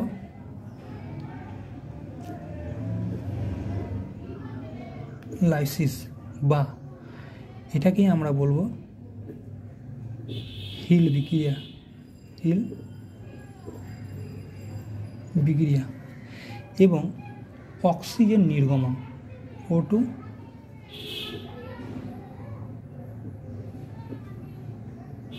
নির্গমন, ঠিক আছে? তো আমরা এখানটায় দেখতে পাচ্ছি যে ঘটনাটা ঘটছে তিন নম্বর পয়েন্টে। তিন নম্বর পয়েন্টে আমরা যেটা দেখব যে জলের বিয়োজন আমরা দেখতে পাচ্ছি জলের বিয়োজন। সেই জলের বিয়োজন মানে জল ভেঙে যাওয়া বা আমরা বলব ওটাকে ফোটোলাইসিস এবং এই ফটোলাইসিস প্রক্রিয়াটি বিজ্ঞানী রবেল ভিন আবিষ্কার, রবিন হিল আবিষ্কার করে তার জন্য এটাকে হিল বিক্রিয়া বলে এবং এর সঙ্গে হয় অক্সিজেন নির্গমন বা অক্সিজেন তৈরি হয়। ঠিক আছে? এখন আমরা প্রক্রিয়াটি দেখে নিচ্ছি যে কীভাবে হচ্ছে। সাপোজ প্রথমে আমরা দেখলাম যে চার অণু জল নিচ্ছে। চার অণু জল এইচ টু ও ঠিক আছে? এবার এই জলটাকে যদি আমাদের ভাঙা হয় এইচ টু ওকে যদি ভাঙা হয়, তাহলে কি H plus O H minus পাই আমরা? তো ধরো H plus plus O H minus লিখলাম। তাহলে আমরা যদি চার অণু ভাঙি, তাহলে কি চার অণু এইচ প্লাস আর চার অণু ওইচ মাইনাস ঠিক আছে? এবার এই চার অণু ওইচ মাইনাসটাকে আমরা এইভাবে লিখি। চার অণু ওইচ মাইনাস এটাকে আমরা যদি এভাবে লিখি যে four H plus four electron মানে এর মধ্যে ওইচ মাইনাস মাইনাস বলতে কি একটা ইলেকট্রন বেশি আছে। এখানে চারটে ওইচ আছে, তার মানে কি চারটে ইলেকট্রন বেশি আছে তাই জন্য চারটে ওইচকে আলাদা করে প্লাস চারটে ইলেকট্রন লিখলাম, ঠিক আছে? এবার এই চারটে ওইচ যে আছে সেই ওইচটাকে আমরা ঠিক এইভাবে লিখলাম ওইচ এটাকে যদি আবার আমরা এক অপর সঙ্গে জুড়ে দিই, জুড়ে দিয়ে আমরা দেখতে পাবো দুই অণু জল প্লাস এক অণু অক্সিজেন উৎপাদন হবে। আর এই অক্সিজেনটাই আমাদের পরিবেশে নির্গত হয়ে যাবে। পরিবেশে কী হয়ে যাবে? নির্গত হয়ে যাবে। আমরা যে পরিবেশে অক্সিজেন পাই সেই অক্সিজেনটা কিন্তু এই অক্সিজেনটা এই অক্সিজেনটা আমাদের জল ভেঙেই তৈরি হয় এই অক্সিজেনটা আমাদের জল ভেঙে তৈরি হয়। এই ব্রিগেড আবিষ্কারে বিজ্ঞানী রবিন হিল, তার জন্যটাকে হিল বিক্রিয়া বলা হয়। এই জায়গাটা দেখে না আমরা চার অণু ভাঙলাম, তার ফলে কী হয়, হিসাব অনুযায়ী আমাদের এখনও জল বেরানো। এটা যদি হাফ অণু ভাঙি, তাহলে কি হাফ অণু জল বেরাতো? ঠিক আছে। এখানে দেখো ভালো করে এইচ টু ও চার অণু এইচ টু ভেঙে আমাদের চারটে এইচ প্লাস আর চারটে ওইচ মাইনাস সেই চারটে ওইচ মাইনাসকে আমাদের চারটে ওইচ আর চারটে ইলেকট্রন এবং সেই ওইচকে জুড়ে আমাদের দুই অণু জল আর এখনও অক্সিজেন পেলাম। এইখানে আমাদের এই জায়গাটাতে, ঠিক আছে? এই জায়গাটাতে আমাদের এখানে দুটো ইলেকট্রনের ঘাটতি এসে দুটো ইলেকট্রন ঘাটতি মেটানোর জন্য কী করা হয়? এখানে আমাদের জল ভেঙে দেওয়া হয় এস টুও বিশ্লিষ্ট করা হয় বা ভাঙা হয়। সেই এস টুও যদি ভেঙে যায়, তার ফলে এখানে কী হয়ে যাবে? এখান থেকে দুটো এইচ প্লাস বেরাবে। দুটো এইচ প্লাস বলতে কি আমাদের? দুটো হাইড্রোজেন বেরাবে, ঠিক আছে? আর দুটো ইলেকট্রন বেরাবে, সেই দু ইলেকট্রন যেটা বেরাবে, সেই দুটো ইলেকট্রন ঠিক আছে, আমাদের এই যে পিএস টু সেই পিএস টু গ্রহণ করে নেবে। আর এখানে আমাদের হাফ অণু অক্সিজেন বেরাবে হাফ অণু অক্সিজেন বেরোবে, সেই অক্সিজেনটা পরিবেশের মধ্যে চলে যাবে। এই যে আমাদের দুই অণু এইচ প্লাস বেরাচ্ছে, সেই দুই অণু এইচ প্লাসটা এখান থেকে এসে আমাদের এই যে এনএডি পির সঙ্গে জুড়ে ছিল যে দুই অণু আমাদের দুই অণু আমাদের এইচ সেই এইচ এইখান থেকে তৈরি হয়, জল ভেঙে তৈরি হয়। সেই জল যে ভাঙছে, এই ঘটনাটাকে বলা হয় আমাদের ফোটোলাইসিস। ফোটো লাইসিস ফোটো মানে সূর্যের আলো, সূর্যের আলোতে জল ভেঙে যায়। জল ভেঙে গিয়ে আমাদের এই জায়গাটার ভারসাম্যটা মেনটেন করে দেয়। দুটো ইলেকট্রন এঁকে দেয় আর দুটো হাইড্রোজেন এঁকে দেয়। ঠিক আছে? আর অক্সিজেন পরিবেশের মধ্যে কী হয়ে যায়? নির্গত হয়ে যায়। এই ফটোলাইসিসটাই আমাদের তিন নম্বর পয়েন্টে আসে, যেটাকে আমাদের জলের বিয়োজন ফটোলাইসিস এবং হিল বিক্রিয়া বা অক্সিজেন নির্গমন বলে। এই ঘটনাটা এই ঘটনাটা বিজ্ঞানী রবানি ফিল আবিষ্কার করেছিল, তাই জন্য এটা। ঠিক আছে? তো আমরা দেখো এখানটায় ফটো এই এই জায়গাতে এই জায়গাতে যে আমাদের বিক্রিয়াটা পেলাম, সেই বিক্রিয়াটা এইভাবে এইভাবে এইভাবে এইভাবে ইলেকট্রন এইভাবে গেল, এর মধ্যে চলে গেল। এখান থেকে এখান থেকে যে ইলেকট্রনটা বেরিয়েছিল সেই ইলেকট্রনটা ঠিক এইভাবে এইভাবে এইভাবে এইভাবে করে এখানে চলে আসলো। চক্রাকারে কিন্তু আগের জায়গায় ফিরে আসলো না কোনো মতে, ঠিক আছে? তাই জন্য এটাকে আমাদের বলছে অচক্রাকার। এই ঘটনাটাকে বলছে আমাদের অচক্রাকার। আর এখানে আমাদের, এখানে ঠিক এই জায়গাতে আমাদের A D P plus PI জুড়ে গিয়ে তৈরি করে আমাদের এ টিপি মানে এটিপি মানে ওটা হচ্ছে ফোটো ফসফোরেশন এটিপি তৈরি হওয়াটাকে ফসফোরেশন বলে। আর এখানে ইলেকট্রন ছাড়া শক্তিটা দিয়ে তৈরি হয়, তার জন্য এটাকে ফোটো ফসফোরেশন বলা হয়। ফটো এটিপি তৈরি হচ্ছে সূর্যের আলোর সাহায্যে। তার জন্য এটাকে ফোটো ফসফোরেশন বলছে। আর এখানে যে ইলেকট্রনটা যাচ্ছে, সেটা হচ্ছে আমাদের অচক্রাকারভাবে। অচক্রাকারভাবে। তার জন্য এটাকে অচক্রাকার ফোটো ফসফোরেশন বলা হয়। আর এই অচক্রাকার ফোটো ফসফোরেশনটাকে আবার আমাদের বলা হয় Z scheme Z scheme Z scheme বলার কারণ, যে ইলেকট্রন ঠিক আমাদের জেড আকারে যাচ্ছে, এভাবে এভাবে এভাবে। তাই জন্য এটাকে আমাদের বলা হয় জেড স্কিম। আর এটাকেই বলা হয় আমাদের অনাবর্তকার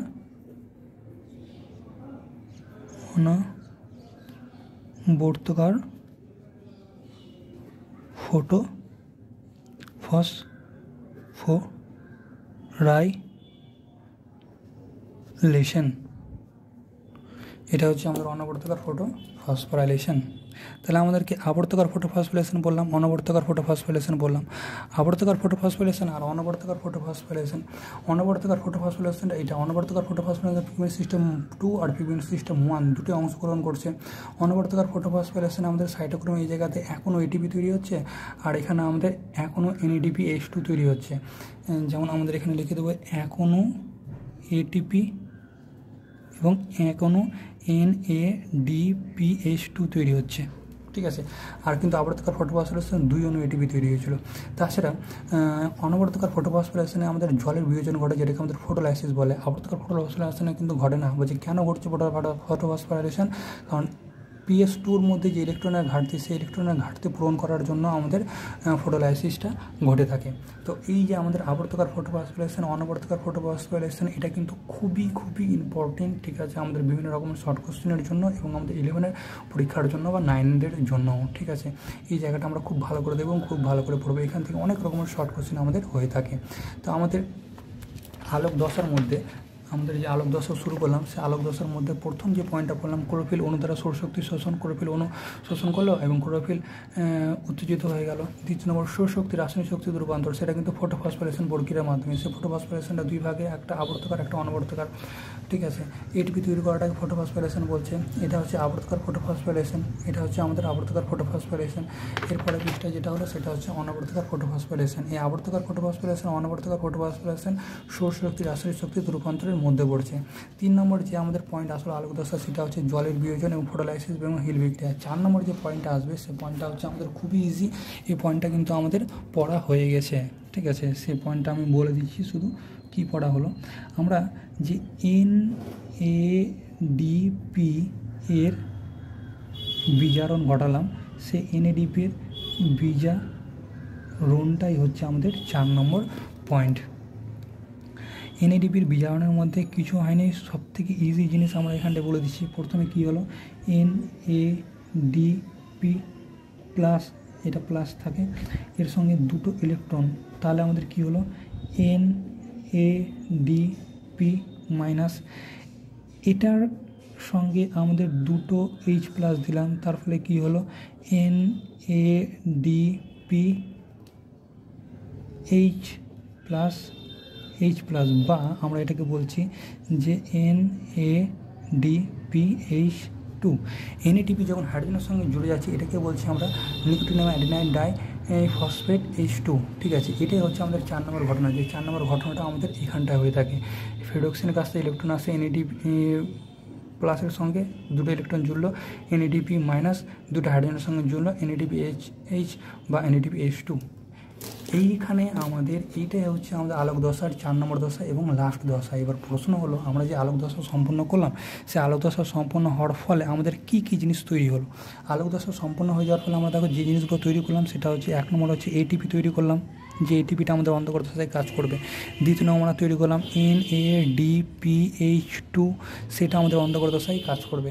চা তিন নম্বর যেটা আমরা তৈরি করলাম সেটা হচ্ছে অক্সিজেন। সে অক্সিজেনটা কিন্তু পরিবেশে বেরিয়ে গেল, যেটা আমরা গাছ থেকে পাই নিঃশ্বাস, প্রশ্বাস, নিঃশ্বাস নেওয়ার জন্য।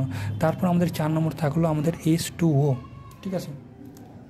এই চারটি জিনিস আমরা আলোক দশা সম্পন্ন হলে পাই। তার মধ্যে এই যে আমাদের দুটো জিনিস, একটা হচ্ছে এটিপি এবং এনএডিপি এইচ টু এই দুটো জিনিস কিন্তু আমাদের খুবই খুবই খুবই ইম্পর্টেন্ট এই দুটো জিনিস উৎপাদন করার জন্য আমাদের আলোক দশা সম্পন্ন হলো এবং এই দুটো জিনিসই আমাদের অন্ধকর দশা পরিচালনা করবে। বা অন্ধকর দশায় কাজে লাগবে। ঠিক আছে? অন্ধকার দশায় কাজে লাগবে। আলোক দশা একমাত্র এই দুটো জিনিস তৈরি করার জন্য, এই দুটো জিনিস নিয়ে অন্ধকার দশা সম্পূর্ণ হবে এখন আমরা যেটা বললাম, সেটা হচ্ছে সালোক সংশ্লেষের আলোক দশা, ঠিক আছে? আরেকবার আমরা দেখিনি প্রথমে সালোক সংশ্লেষ, দেখে নেব সালোক সংশ্লেষ বিজ্ঞানী বাণিজ্য উপাদানগুলো সালোক সংশ্লেষ উপস্থিত মানে অর্থ হলো আলোর উপস্থিতিতে খাদ্য তৈরি সালোক সংশ্লেষ সমীকরণটা ভালো করে দেখে নেব, এটাকে আমাদের বিজারণ এবং জারণ দুটোই বলা হয়। তারপর আমাদের অনেক কিছু আছে তার মধ্যে বোঝার যে বিষয়টা সেটা হচ্ছে ক্লোরোপ্লাস্টের গঠনটা আমাদের দেখতে হবে। ক্লোরোপ্লাস্টের মধ্যে আমাদের থাইলাকয়েড থাকে, গ্রানা থাকে আর এটা ল্যামিলি থাকে, ঠিক আছে? থাইলাকয়েডের ভিতরটা যদি আমরা দেখি, ভিতরে ফাঁকা জায়গাতে লুমিন এবং চারদিকে আমাদের পর্দার ভিতরে গোল গোল অংশ থাকে, সেটাকে কন্ডাজম বলে। কন্ডাজমের উপর থেকে আমাদের বিভিন্ন রঞ্জক থাকে বিভিন্ন রঞ্জক হচ্ছে ক্লোরোফিল এ আর এগুলো হচ্ছে সাহায্যকের রঞ্জক। তার ফলে আমাদের বিভিন্ন রঞ্জক যুক্ত হয়ে আমাদের দুটো সিস্টেম তৈরি করে পিএস ওয়ান এবং পিএস টু এটা হচ্ছে পিএস ওয়ান পিএস ওয়ান সাতশো নানোমিটার আলোক তরঙ্গ শোষণ করে আর পিএস টু ছশো আশি নানোমিটার আলোক তরঙ্গ শোষণ করে। এরপর আমাদের শুরু হলো সালক সংশ্লেষের আলোক দশা। সালক সংশ্লেষ যে আলোক দশা শুরু হলো, আমাদের প্রথমে যেটা দেখলাম সেটা হচ্ছে ক্লোরোফিল অনুর সৌরশক্তির দ্বারা শোষণ, ক্লোরোফিল অনু সৌরশক্তি দ্বারা শোষণ করে ক্লোরোফিল অনু উত্তেজিত হয়ে যায়। কারণ ওর সর্বিষ্ট কক্ষপথ ইলেকট্রনটা কী হয়ে যায়? উত্তেজিত হয়ে যায়, উত্তেজিত হয়ে গিয়ে বেরিয়ে পড়ে। এরপর আমাদের তৈরি হলো সৌরশক্তি রাসায়নিক শক্তিতে রূপান্তর। এটাকে ফটোফসফোরেশন বলে। কত অর্থ ফটোফসফোরেশনের মাধ্যমে সৌরশক্তি রাসায়নিক শক্তিতে রূপান্তরিত হয়ে যায়। এটা আমাদের আবর্তকার এবং অনাবর্তকার হয়। এটা হচ্ছে আমাদের আবর্তকার ফটোফসফোরাইলেশন ঠিক আছে, পরিষ্কার আমাদের ভালো করে বুঝলাম আমরা। আরেকবার ভালো করে দেখে নেব, বইয়ের মধ্যে এটা দেওয়া আছে। এরপর আমরা দেখব অনবর্তকার ফটোফসফোরাইলেশন অনবর্তকার ফটোফসফোরাইলেশন এটা হচ্ছে ইলেকট্রনটা এটা দিয়ে বেরিয়ে, এটা দিয়ে বেরিয়ে, এটা দিয়ে বেরিয়ে এইভাবে চলে গেল। এবং এই জায়গাটা আমাদের এমনি তৈরি তার জন্য আমাদের অনবর্তকার ফটোফসফোরাইলেশন অনবর্তকার ফটোফসফোরাইলেশনটা আমরা কীভাবে বলে দেখে নেব। এরপর আমাদের তিন নম্বর পয়েন্ট জলের বিয়োজন। জলের বিয়োজনটাকে জল ভেঙে আমাদের ইলেকট্রন আর এইচ প্লাস তৈরি হয়, আর অক্সিজেন নির্গত হয়। যেটা আমাদের এই জায়গাতে খুব দরকার পড়ে। তারপর হলো আমাদের চার নম্বর পয়েন্ট সেটা হচ্ছে আমাদের এনডিবি বিজারণ। এনডিবি বিজারণটা আমাদের অনবর্তক ফসফোরেশনে ঠিক এই জায়গাটাতে হয়ে যায় সেটা আমরা বুঝতে পেরে গেছি। এরপর আমরা দেখব যে চারটে দশা যে সম্পূর্ণ হয়, আলোক দশা সম্পূর্ণ, আলোক দশা সম্পূর্ণ হওয়ার পর আমাদের যেটা তৈরি করতে সেটা হচ্ছে এটিপি আর এনডিপি এইচ টু এখনও এখনও করে। এটা আমাদের অন্তর্গত দশায় কাজে লাগে। তো এখন আমরা যেটা বললাম সেটা হচ্ছে সালোক সংশ্লেষ প্রক্রিয়ার আলোক দশা। ঠিক আছে? এরপর আমরা অন্ধকার দশা পড়ব। আমরা এখন পড়ব সালোক সংশ্লেষের অন্ধকার দশা। সালোক সংশ্লেষের আলোক দশা আমরা যেমন পড়লাম, ঠিক ওইরকমভাবে আমরা এখন সালোক সংশ্লেষের অন্ধকার দশা পড়ব।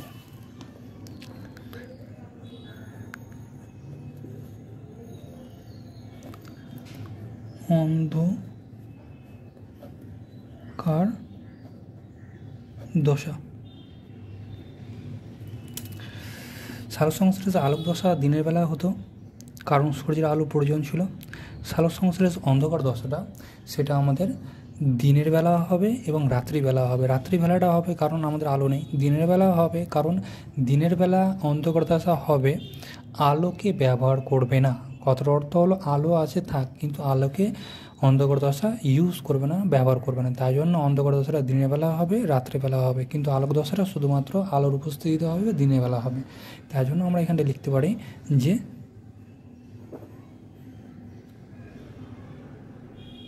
দিবা রাত্রি ঘটে, অন্ধকার দশা, আলোক দশা শুধুমাত্র দিনের বেলায় ঘটে, ঠিক আছে?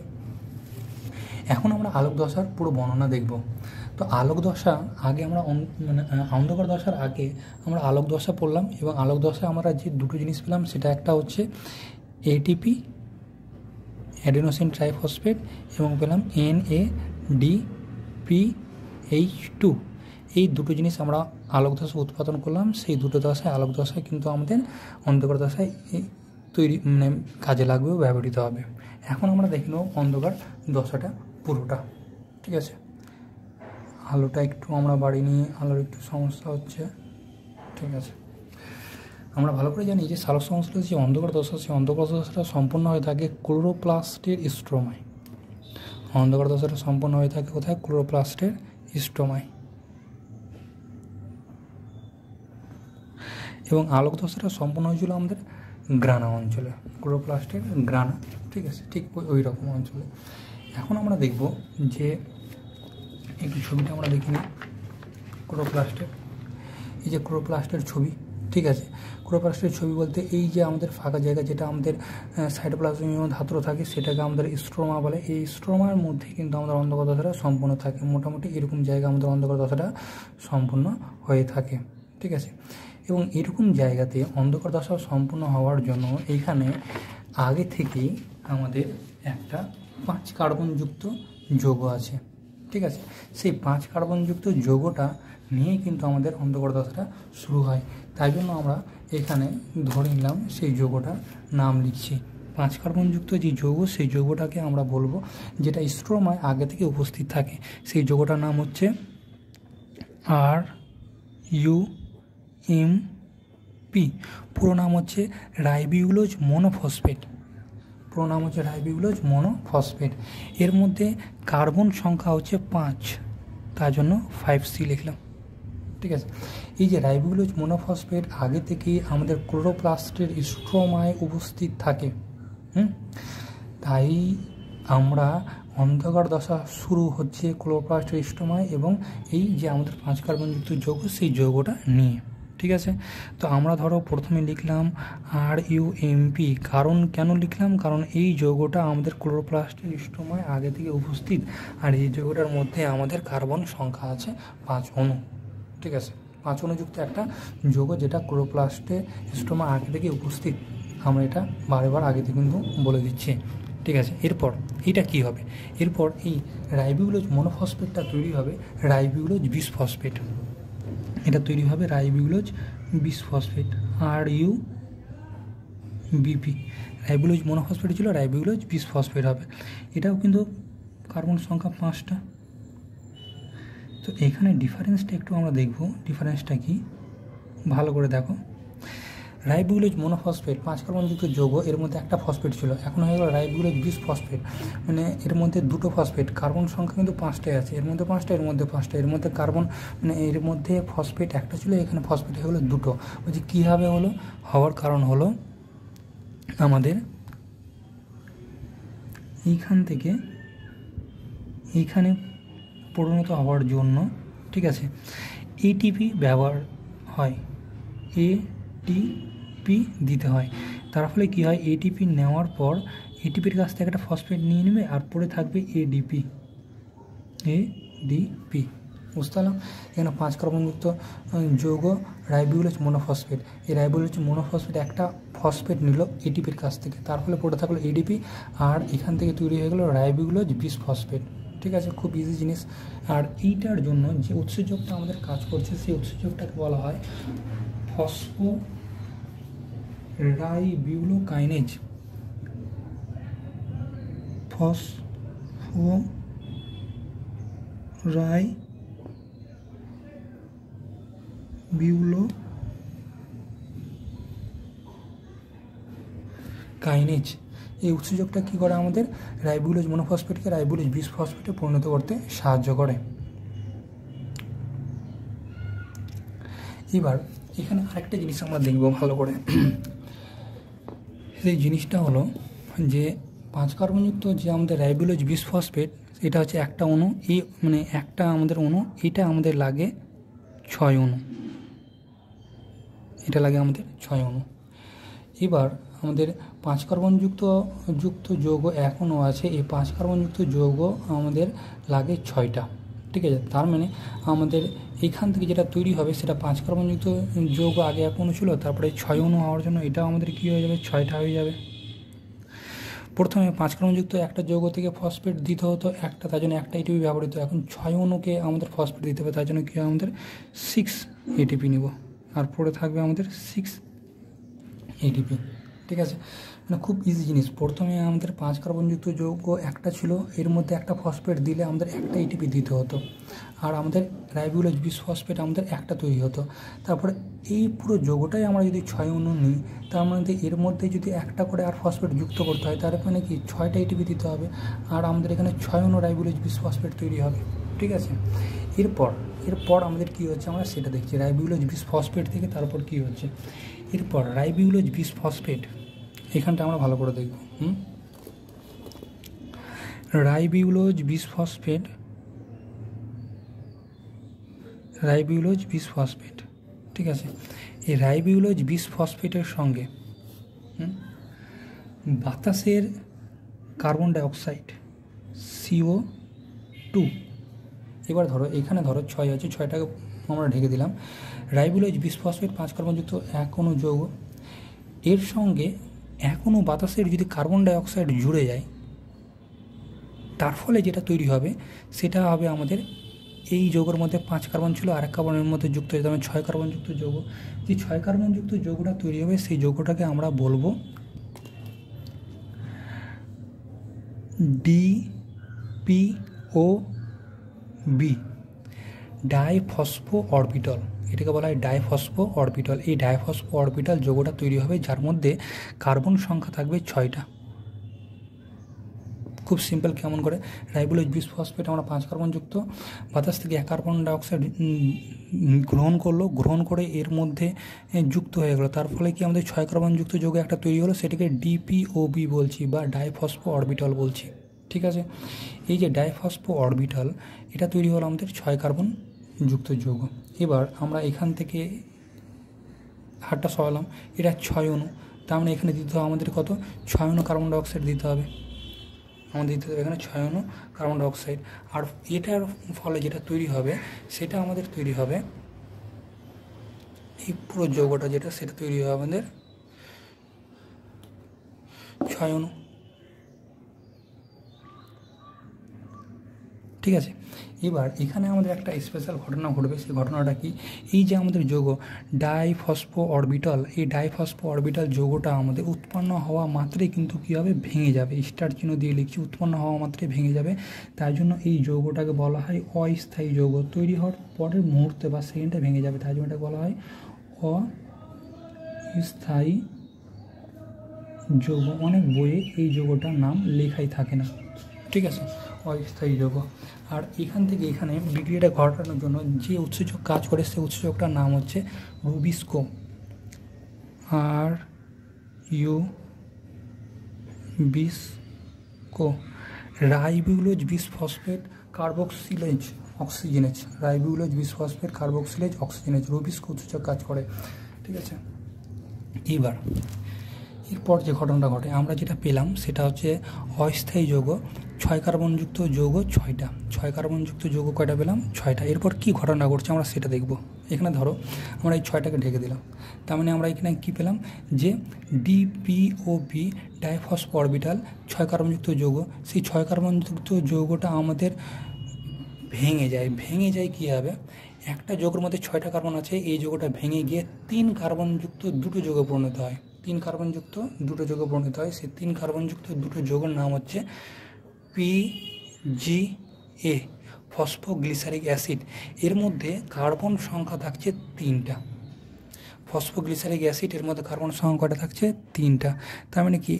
ছয় কার্বনযুক্ত একটা যৌগ যদি ভাঙে, তিন কার্বনযুক্ত দুটো যৌগ তৈরি করছে, তার জন্য আমরা কী লিখব?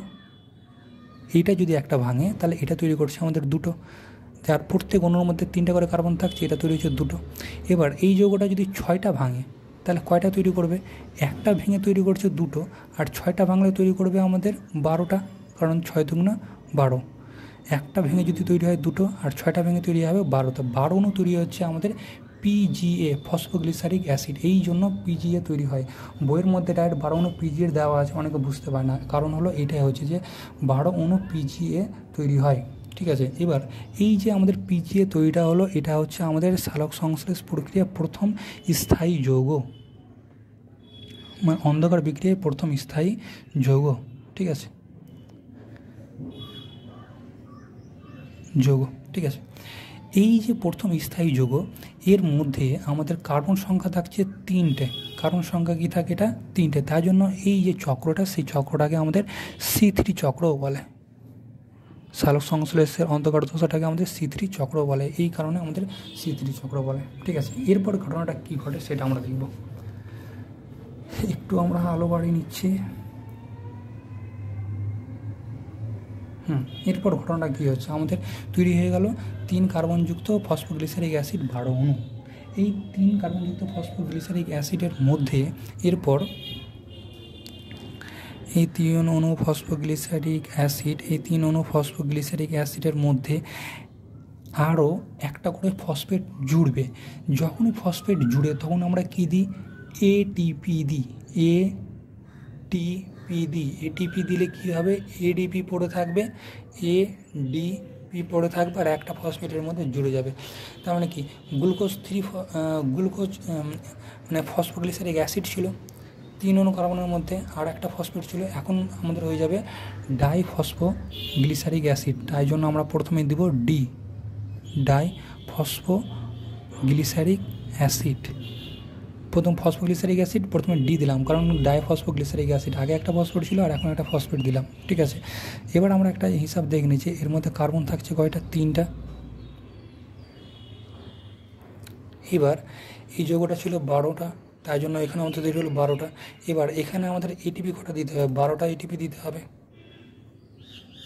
আর এখানেও তৈরি হওয়া আমাদের বারোটা এডিপি পড়ে থাকবে। আর এখানে আমাদের বারো অনু ডাইফসফোগ্লিসারিক অ্যাসিড তৈরি হলো। এরপর ডাইফসফোগ্লিসারিক অ্যাসিড থেকে আমাদের কি করতে হবে? এরপর যে ঘটনাটা ঘটবে, যে ডাইফসফোগ্লিসারিক অ্যাসিডকে বারো অনু ডাইফসফোগ্লিসারিক অ্যাসিডকে আমাদের যেটা দিতে হয় সেটা হচ্ছে, আমরা যে N A DP H two তৈরি করেছিলাম N A DP H two say N A DP H টুটা এখানে ব্যবহৃত হবে। বারো অনু এনএডিপিএস টু এখানে দেবো। পড়ে থাকবে এন এ ডি পি এই যে হাইড্রোজেন এস টুটা সে হাইড্রোজেন এই ধরে নেবে। ধরে নেবে, ধরে নিয়ে আমাদের কী হবে? এটা বিজারিত হয়ে যাবে। মানে ফসফোগ্লিসারিক অ্যাসিড বিজারিত হয়ে গিয়ে আমাদের ফসফোগ্লিসারিল ডিহাইডে পরিণত হবে। আরেকটা জিনিস কি? এখান থেকে একটা ফসফেট বেরিয়ে যাবে। ফসফেট বেরিয়ে যাবে, আমাদের সেটা আমাদের বেরাবে, আমাদের ফসফরিক অ্যাসিড হিসাবে। তার জন্য আমরা এখানে লিখব এইচ থ্রি পিও ফোর এখান থেকে একটা ফসফেট বেরাবে ফসফোগ্লিসারিক অ্যাসিড হিসেবে। তা বারো অণু আছে, তার মানে বারো অণু ফসফোগ্লিসারিক অ্যাসিড বেরাবে। বারো অণু আছে, তার মানে বারো অণু এনএডিপি এস দিতে হবে, আর এনএডিপি পড়ে থাকবে বারো অণু আর এখানে আমাদের যেটা তৈরি হবে, সেটা হবে বারো অণু ফসফো গ্লিস্যারেলডি হাইট ছোটো হাতের এলডি দিয়ে দেবো তাহলে হয়ে যাবে। বারো অণু ফসফোগ্লিসারেলডি হাইট এর মধ্যে কার্বন থাকবে আমাদের তিনটে। ফসফোগ্লিসারিডি হাইড ফসফোগ্লিসারিডিহাইড ঠিক আছে? এইবার মানে আমাদের পরিষ্কার কি দেখলাম যে ফসফোগ্লিসারিক অ্যাসিড থেকে ফসফোগ্লিসারিডিহাইড হলো। কী হবে হাইড্রোজেন যুক্ত? হাইড্রোজেনটা দিলে এনএডি পিএইচ টু এনএডি পরে থাকল আর এখানে একটা ফসফেট বেরিয়ে গেলো। সেটা আমাদের ফসফোগ্লিসারিক অ্যাসিড রূপে। ফসফোগ্লিসারিডিহাইড এবার ফসফোগ্লিসারিডিহাইড এই জায়গাটা আমাদের দুটো ভাগে ভাগ হবে। দশ অনু ফসফোগ্লিসারিডিহাইড দশ অণু ফসফোগ্লিসাইডিহাইড মানে টেন পিজিএএলডি ঠিক আছে, বিক্রিয়া করে পুনরায় আমাদের এই যে রাইবুলোজ মনোফসফেট যে যেটা আমাদের স্ট্রোমাই ছিল, সেটা আমাদের পুনরুৎপাদন করবে। কারণ এটা যেন শেষ না হয়ে যায় এক টাইমে ঠিক আছে, আমাদের রাইবুলেজ মনোফসফেট স্ট্রোমাই ছিল। সেই স্ট্রোমা থেকে নিয়ে কাজ শুরু হলো। তারপর এটা নিয়ে যদি আমাদের একটা অন্য কিছু যোগ তৈরি করে তাহলে এই রাইবুলেজ মনোফসফেট উৎপাদন হবে না। তাই জন্য কী হবে? এই টেন ফসফোগ্লিসাইল ডিহাইড আমাদের রাইবুলেজ মনোফসফেট পুনরুৎপাদন করবে। এটাকে আমাদের বলব পুনরুৎ বা দন, পুনরুৎপাদন করবে। ঠিক আছে? আর দুই অণু ফসফোগ্লিসাইলডিহাইড এখান থেকে দুই অণু phosphoglyceraldehyde two molecule P G A L D যার এক একটার মধ্যে থাকছে তিন অণু কার্বন, ঠিক আছে? এরা আলাদা হয়ে যাবে। আলাদা হয়ে গিয়ে কী হবে? এরা প্রথমে তৈরি করবে ডি তিন কার্বনযুক্তই কিন্তু দুই অণু তৈরি করবে, ঠিক আছে? ডাই হাইড্রোক্সি অ্যাসিডোফসফেট ঠিক আছে? এটা আমাদের তিন অণু দুটো তৈরি করবে। মানে ফসফোগ্লিসাইলডিহাইড তিন অণু দুটো, এটা আমাদের পরিণত হয়ে যাবে ডাই ডাইহাইড্রোক্সি অ্যাসিডো ফসফেটে এবার এই যে তিন অণু করে দুটো ডাইহাইড্রোক্সি অ্যাসিডন ফসফেট এরা কীভাবে একে অপরের সঙ্গে জুড়ে যাবে? জুড়ে গিয়ে আমাদের ছয় কার্বনযুক্ত একটা যৌগ তৈরি করবে। সেই ছয় কার্বনযুক্ত যে যৌগটা তৈরি করবে, তার নাম হচ্ছে আমাদের F B P fructose bisphosphate F BP fructose bisphosphate এই ফ্রুক্টোজ বিসফসফেটে আমাদের কার্বনের সংখ্যা থাকবে ছয়টা। এটা দুই অণু ছিল।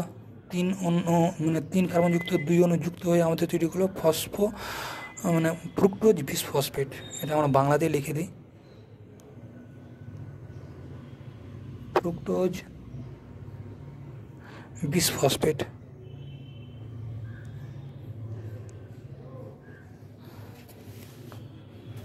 ফ্রুক্টোজ বিসফসফেট এরপর আমাদের এই ফ্রুক্টোজ বিসফসফেট থেকে একটা ফসফেট বেরিয়ে যাবে। তৈরি হওয়া আমাদের F M F M P fructose monophosphate এটার আর বাংলাতে আমরা এরপর ফ্রুক্টোজ মনোফসফেট থেকে আমাদের তৈরি হয়ে যাবে গ্লুকোজ গ্লুকোজ গ্লুকোজের মধ্যে আমাদের কার্বন সংখ্যা থাকে ছয়টা। ঠিক আছে। গ্লুকোজে যেহেতু কার্বন সংখ্যা ছয়টা থাকে এখনও গ্লুকোজ তৈরি করতে ছয়টা আমাদের কার্বন লাগবে, তাই জন্য আমাদের ফসফোগ্লিসাইলডিহাইড দুই অণু আমাদের আলাদা হয়ে গেল। প্রথমে ফসফোগ্লিসাইলডিহাইড ফসফোগ্লিসাইলডিহাইড থেকে ডাই হাইড্রোক্সি অ্যাসিডো ফসফেট তারপর আমরা এই ডাই হাইড্রোক্সি অ্যাসিডো ফসফেট দুই অণু জুড়ে গিয়ে আমাদের ফ্রুক্টোজ বিস ফসফেট, ফ্রুক্টোজ বিসের ফ্রুক্টোজ মনোফসফেট, তারপর তৈরি হলো গ্লুকোজ। এইটা আমরা পেলাম গ্লুকোজ। এখন তৈরি হলো আমাদের গ্লুকোজ বা খাদ্যবস্তু। এটাকে আমাদের বলা হয় আমাদের খাদ্য, যেটা সালক সংশ্লেষ প্রক্রিয়ায় তৈরি হয়। ঠিক আছে? তো আমরা এখন যে বিক্রিয়াটা দেখলাম, সেটা হচ্ছে অন্ধকার দশা। ঠিক আছে, বা অন্ধকার বিক্রিয়া। এই বিক্রিয়াটা সাধারণত ঘটে থাকে আমাদের দিবা রাত্রি। দিনের বেলা হতে পারে রাত্রেবেলা হতে রাত্রিবেলা হবেই, দিনের বেলা হলেও সূর্যের আলো ব্যবহার করবে না, কারণ এখানে ব্যবহার হয় না। এখানে স্পেশালি যে জিনিসটা ব্যবহৃত হয় সেটা হচ্ছে কার্বন ডাইঅক্সাইড কার্বন ডাইঅক্সাইড কিন্তু দিনের বেলা বা আলোক দশায় ব্যবহৃত হয়নি, এটা অন্ধকার দশার মধ্যেই ব্যবহৃত হচ্ছে এই জায়গাটাতে, ঠিক আছে? আলোক দশায় যে আমরা দুটো জিনিস তৈরি করেছিলাম এটিপি আর এনডিপিএস টু তারা এখানে আমাদের কী হলো? কাজে লাগল বা অংশগ্রহণ করল, ঠিক আছে? এখন যে আমরা এই যে বিক্রিয়াটা বললাম সেই বিক্রিয়াটাকে আমাদের অন্ধকার দশা বলে। এই বিক্রিয়াটা পুরোটা পাঁচ নম্বরের জন্য আমাদের কোশ্চিনে চলে আসে বা এই বিক্রিয়াটার মধ্যে আমাদের অনেক জায়গা আছে যে জায়গাতে আমাদের শর্ট কোশ্চিন এসে থাকে, ঠিক আছে?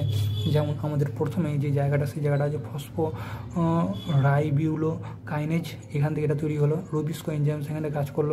এখানে আমাদের একটা অস্থায়ী যৌগ, এটা আমাদের সাধারণ বইয়ে লেখা থাকে না নামটা, আমরা লিখে দিলাম, ঠিক আছে? এখান থেকে আমাদের এই জায়গাটাতে তৈরি হলো। এরপর আমাদের এইখানটায় ফসফো গ্লিসারিক অ্যাসিড থেকে ডাইফসফো গ্লিসারিক অ্যাসিড তৈরি হলো। এখানে আমাদের কী হলো? এটিপি জল বা এটিপি জয়েন্ট হলো। এখানে আমাদের যে উৎসেচকটা কাজ করে, সেই উৎসেচকটার নাম আমরা লিখতে পারি। সেটা হবে এখানটায় যে উৎসেচকটার নাম আমরা লিখব, সেটা হচ্ছে ফসফো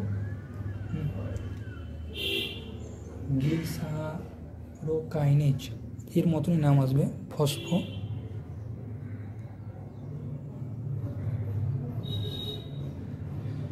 গ্লিসারোকাইনেজ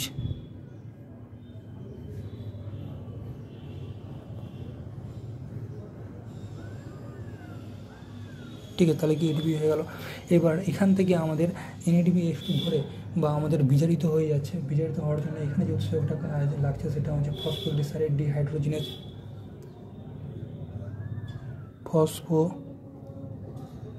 phosphoglycerate dehydrogenase dehydrogenase ঠিক আছে? তারপর আমাদের এই ঘটনাগুলো সাধারণত ঘটে থাকে। তো এই যে বিক্রিয়াটা, এই বিক্রিয়াটা আমরা খুব ভালোভাবে পড়ব। এখানে আমাদের অনুর হিসাবটা ঠিক মাথায় রাখব। তাই জন্য কি আমরা ফট করে বারো অনু পিজিএ পাই। বারো অনু পিজিএটা কি আমরা একটু বুঝতে অসুবিধা হয়, এই জায়গাটা আমরা হিসাবটা মাথায় রাখব। তার ফলে এইভাবে আমাদের এখানে তৈরি হলো এখনও গ্লুকোজ। এই যে আমাদের বিক্রিয়াটা, এই বিক্রিয়াটা তিনটে ধাপে হয় বা তিনটে পয়েন্ট দেওয়া আছে। অন্তর্গত প্রথম পয়েন্টটা যেটা আমরা, সেটা আমরা বলে দিচ্ছি। প্রথম পয়েন্ট যেটা, সেটা হচ্ছে কার্বন ডাই অক্সাইডের ফিক্সেশন কার্বন ডাই অক্সাইডের আবদ্ধকরণ আবদ্ধকরণ বা ইংরেজিতে বলে ফিক্সেশন বলছে কার্বন ডাই অক্সাইড কোথায় আবদ্ধ হচ্ছে? এই পয়েন্টটা এই পয়েন্টটা, কার্বন ডাই অক্সাইড আবদ্ধকরণ, এই পয়েন্টটা একটু আমরা আলো বাড়িয়ে দিই। কার্বন ডাই অক্সাইড আবদ্ধকরণ, এই পয়েন্টটা হচ্ছে আমাদের ঠিক এই জায়গায় এই জায়গায় বাতাসের কার্বন ডাই অক্সাইড, এই জায়গায় আমাদের কি হচ্ছে? রাইবিউলোজ বিসফসফেটের সঙ্গে যুক্ত হচ্ছে যুক্ত হয়ে গিয়ে আমাদের এই যোগটা তৈরি হয়। এটা অস্থায়ী। এটা হচ্ছে প্রথম আমাদের এক নম্বর পয়েন্ট ঠিক আছে? এই জায়গাটাতে আমাদেরকে জুড়ে যায়। কার্বন আমাদের রাইবিউলোজ বিসফসফেটের সঙ্গে জুড়ছে। কার্বনকে অঙ্গার বলা হয় এবং রাইবিউলোজ বিসফসফেটের সঙ্গে জুড়ে যাচ্ছে। তার জন্য এই ঘটনাটাকে বা এই জায়গাটাতে আমাদের বলা হয় অঙ্গারত্বীকরণ আমাদের যে অঙ্গারত্বীকরণ বলা হয়, এখানটাই বলা হয়, এই জন্যই বলা হয় অঙ্গার আত্মীকরণ আত্মীকরণ কারণ। কার্বন রাইবিউলেজ বিসফসফেটের সঙ্গে জুড়ে যাচ্ছে, তার জন্য এটাকে বলা হয় অঙ্গার আত্মীকরণ এটা হচ্ছে প্রথম মানে পয়েন্ট দ্বিতীয় পয়েন্ট হচ্ছে আমাদের এটা দ্বিতীয় পয়েন্ট হচ্ছে আমাদের এই যে, এই জায়গাটা, ঠিক আছে? পিজিএ উৎপাদন। দ্বিতীয় পয়েন্ট আমরা বলতে পারি ফসফোগ্লিসারিক অ্যাসিড উৎপাদন। এটা হচ্ছে দ্বিতীয় পয়েন্ট তৃতীয় নম্বর পয়েন্ট হচ্ছে যে ফসফোগ্লিসারিক অ্যাসিডের বিজারণ। এই যে, এই জায়গাটা। ফসফোগ্লিসারিক অ্যাসিড হাইড্রোজেন ধরে আমাদের ফসফোগ্লিসাইড হাইডে পরিণত হচ্ছে। এটা হচ্ছে আমাদের তৃতীয় দশা, যেটাকে আমাদের বলা হয় ফসফোগ্লিসারিক অ্যাসিডের বিজারণ বা পিজিএ এর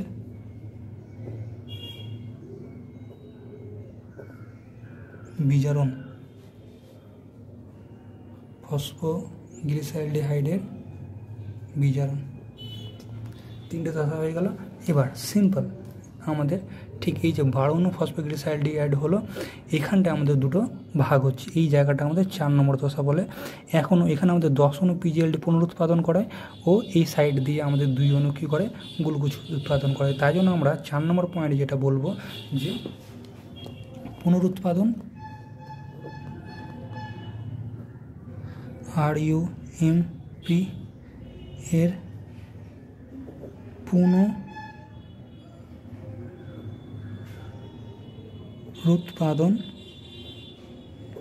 ও গ্লুকোজ সংশ্লেষ গ্লুকোজ সংশ্লেষ সংশ্লেষ। আমাদের সালোক সংশ্লেষ অন্ধকার দশা এইভাবে এই চারটি স্টেপে কী হয়? কমপ্লিট হয়। এইভাবে এই চারটি স্টেপে কমপ্লিট হয়। এই চারটি স্টেপ আমাদের এই বিক্রিয়ার মধ্যেই দেওয়া আছে। যে বিক্রিয়াটা আমরা মন দিয়ে পড়ব, মন দিয়ে ভিডিওটা দেখব। ঠিক আছে? এইভাবে আমাদের কী হয়? গ্লুকোজ তৈরি হয়। সালোক সংশ্লেষে আমরা আলোক দশা দেখলাম এবং সালোক সংশ্লেষে আমরা অন্ধকার দশা দেখলাম। সালোক সংশ্লেষে আলোক দশা সম্পূর্ণ হয়। ওটা অর্ধেক দশা আর বাকি অর্ধেক দশা হচ্ছে অন্ধকার দশা। অন্ধকার দশা সম্পূর্ণ হয়ে গেলে আমরা গ্লুকোজ পাই, ঠিক আছে? আমাদের নাইন এবং ইলেভেনের জন্য এবং জয়েন্টের জন্য বিশেষ করে আমাদের এই আলোক দশা এবং মানে আমাদের এটা অন্ধকার দশা এবং আমরা আলোক দশা যেটা পড়েছি, যা যা পড়লাম আমরা, সেই আলোক দশার যে বিভিন্ন বিক্রিয়াগুলো, পুরোটা যদি আমরা ডিটেলস মনে রাখতে পারি, অন্তত যে বিষয়গুলো আমরা আজকে বুঝলাম, সেই বিষয়গুলো যদি পুরোটা মনে রাখতে পারি, তাহলে কিন্তু আমাদের যথেষ্ট নিটের জন্য, ভালো রেজাল্ট করার জন্য বা ইলেভেনের ভালো রেজাল্ট করার জন্য। তো আজকে আমাদের জন্য এতটুকুই।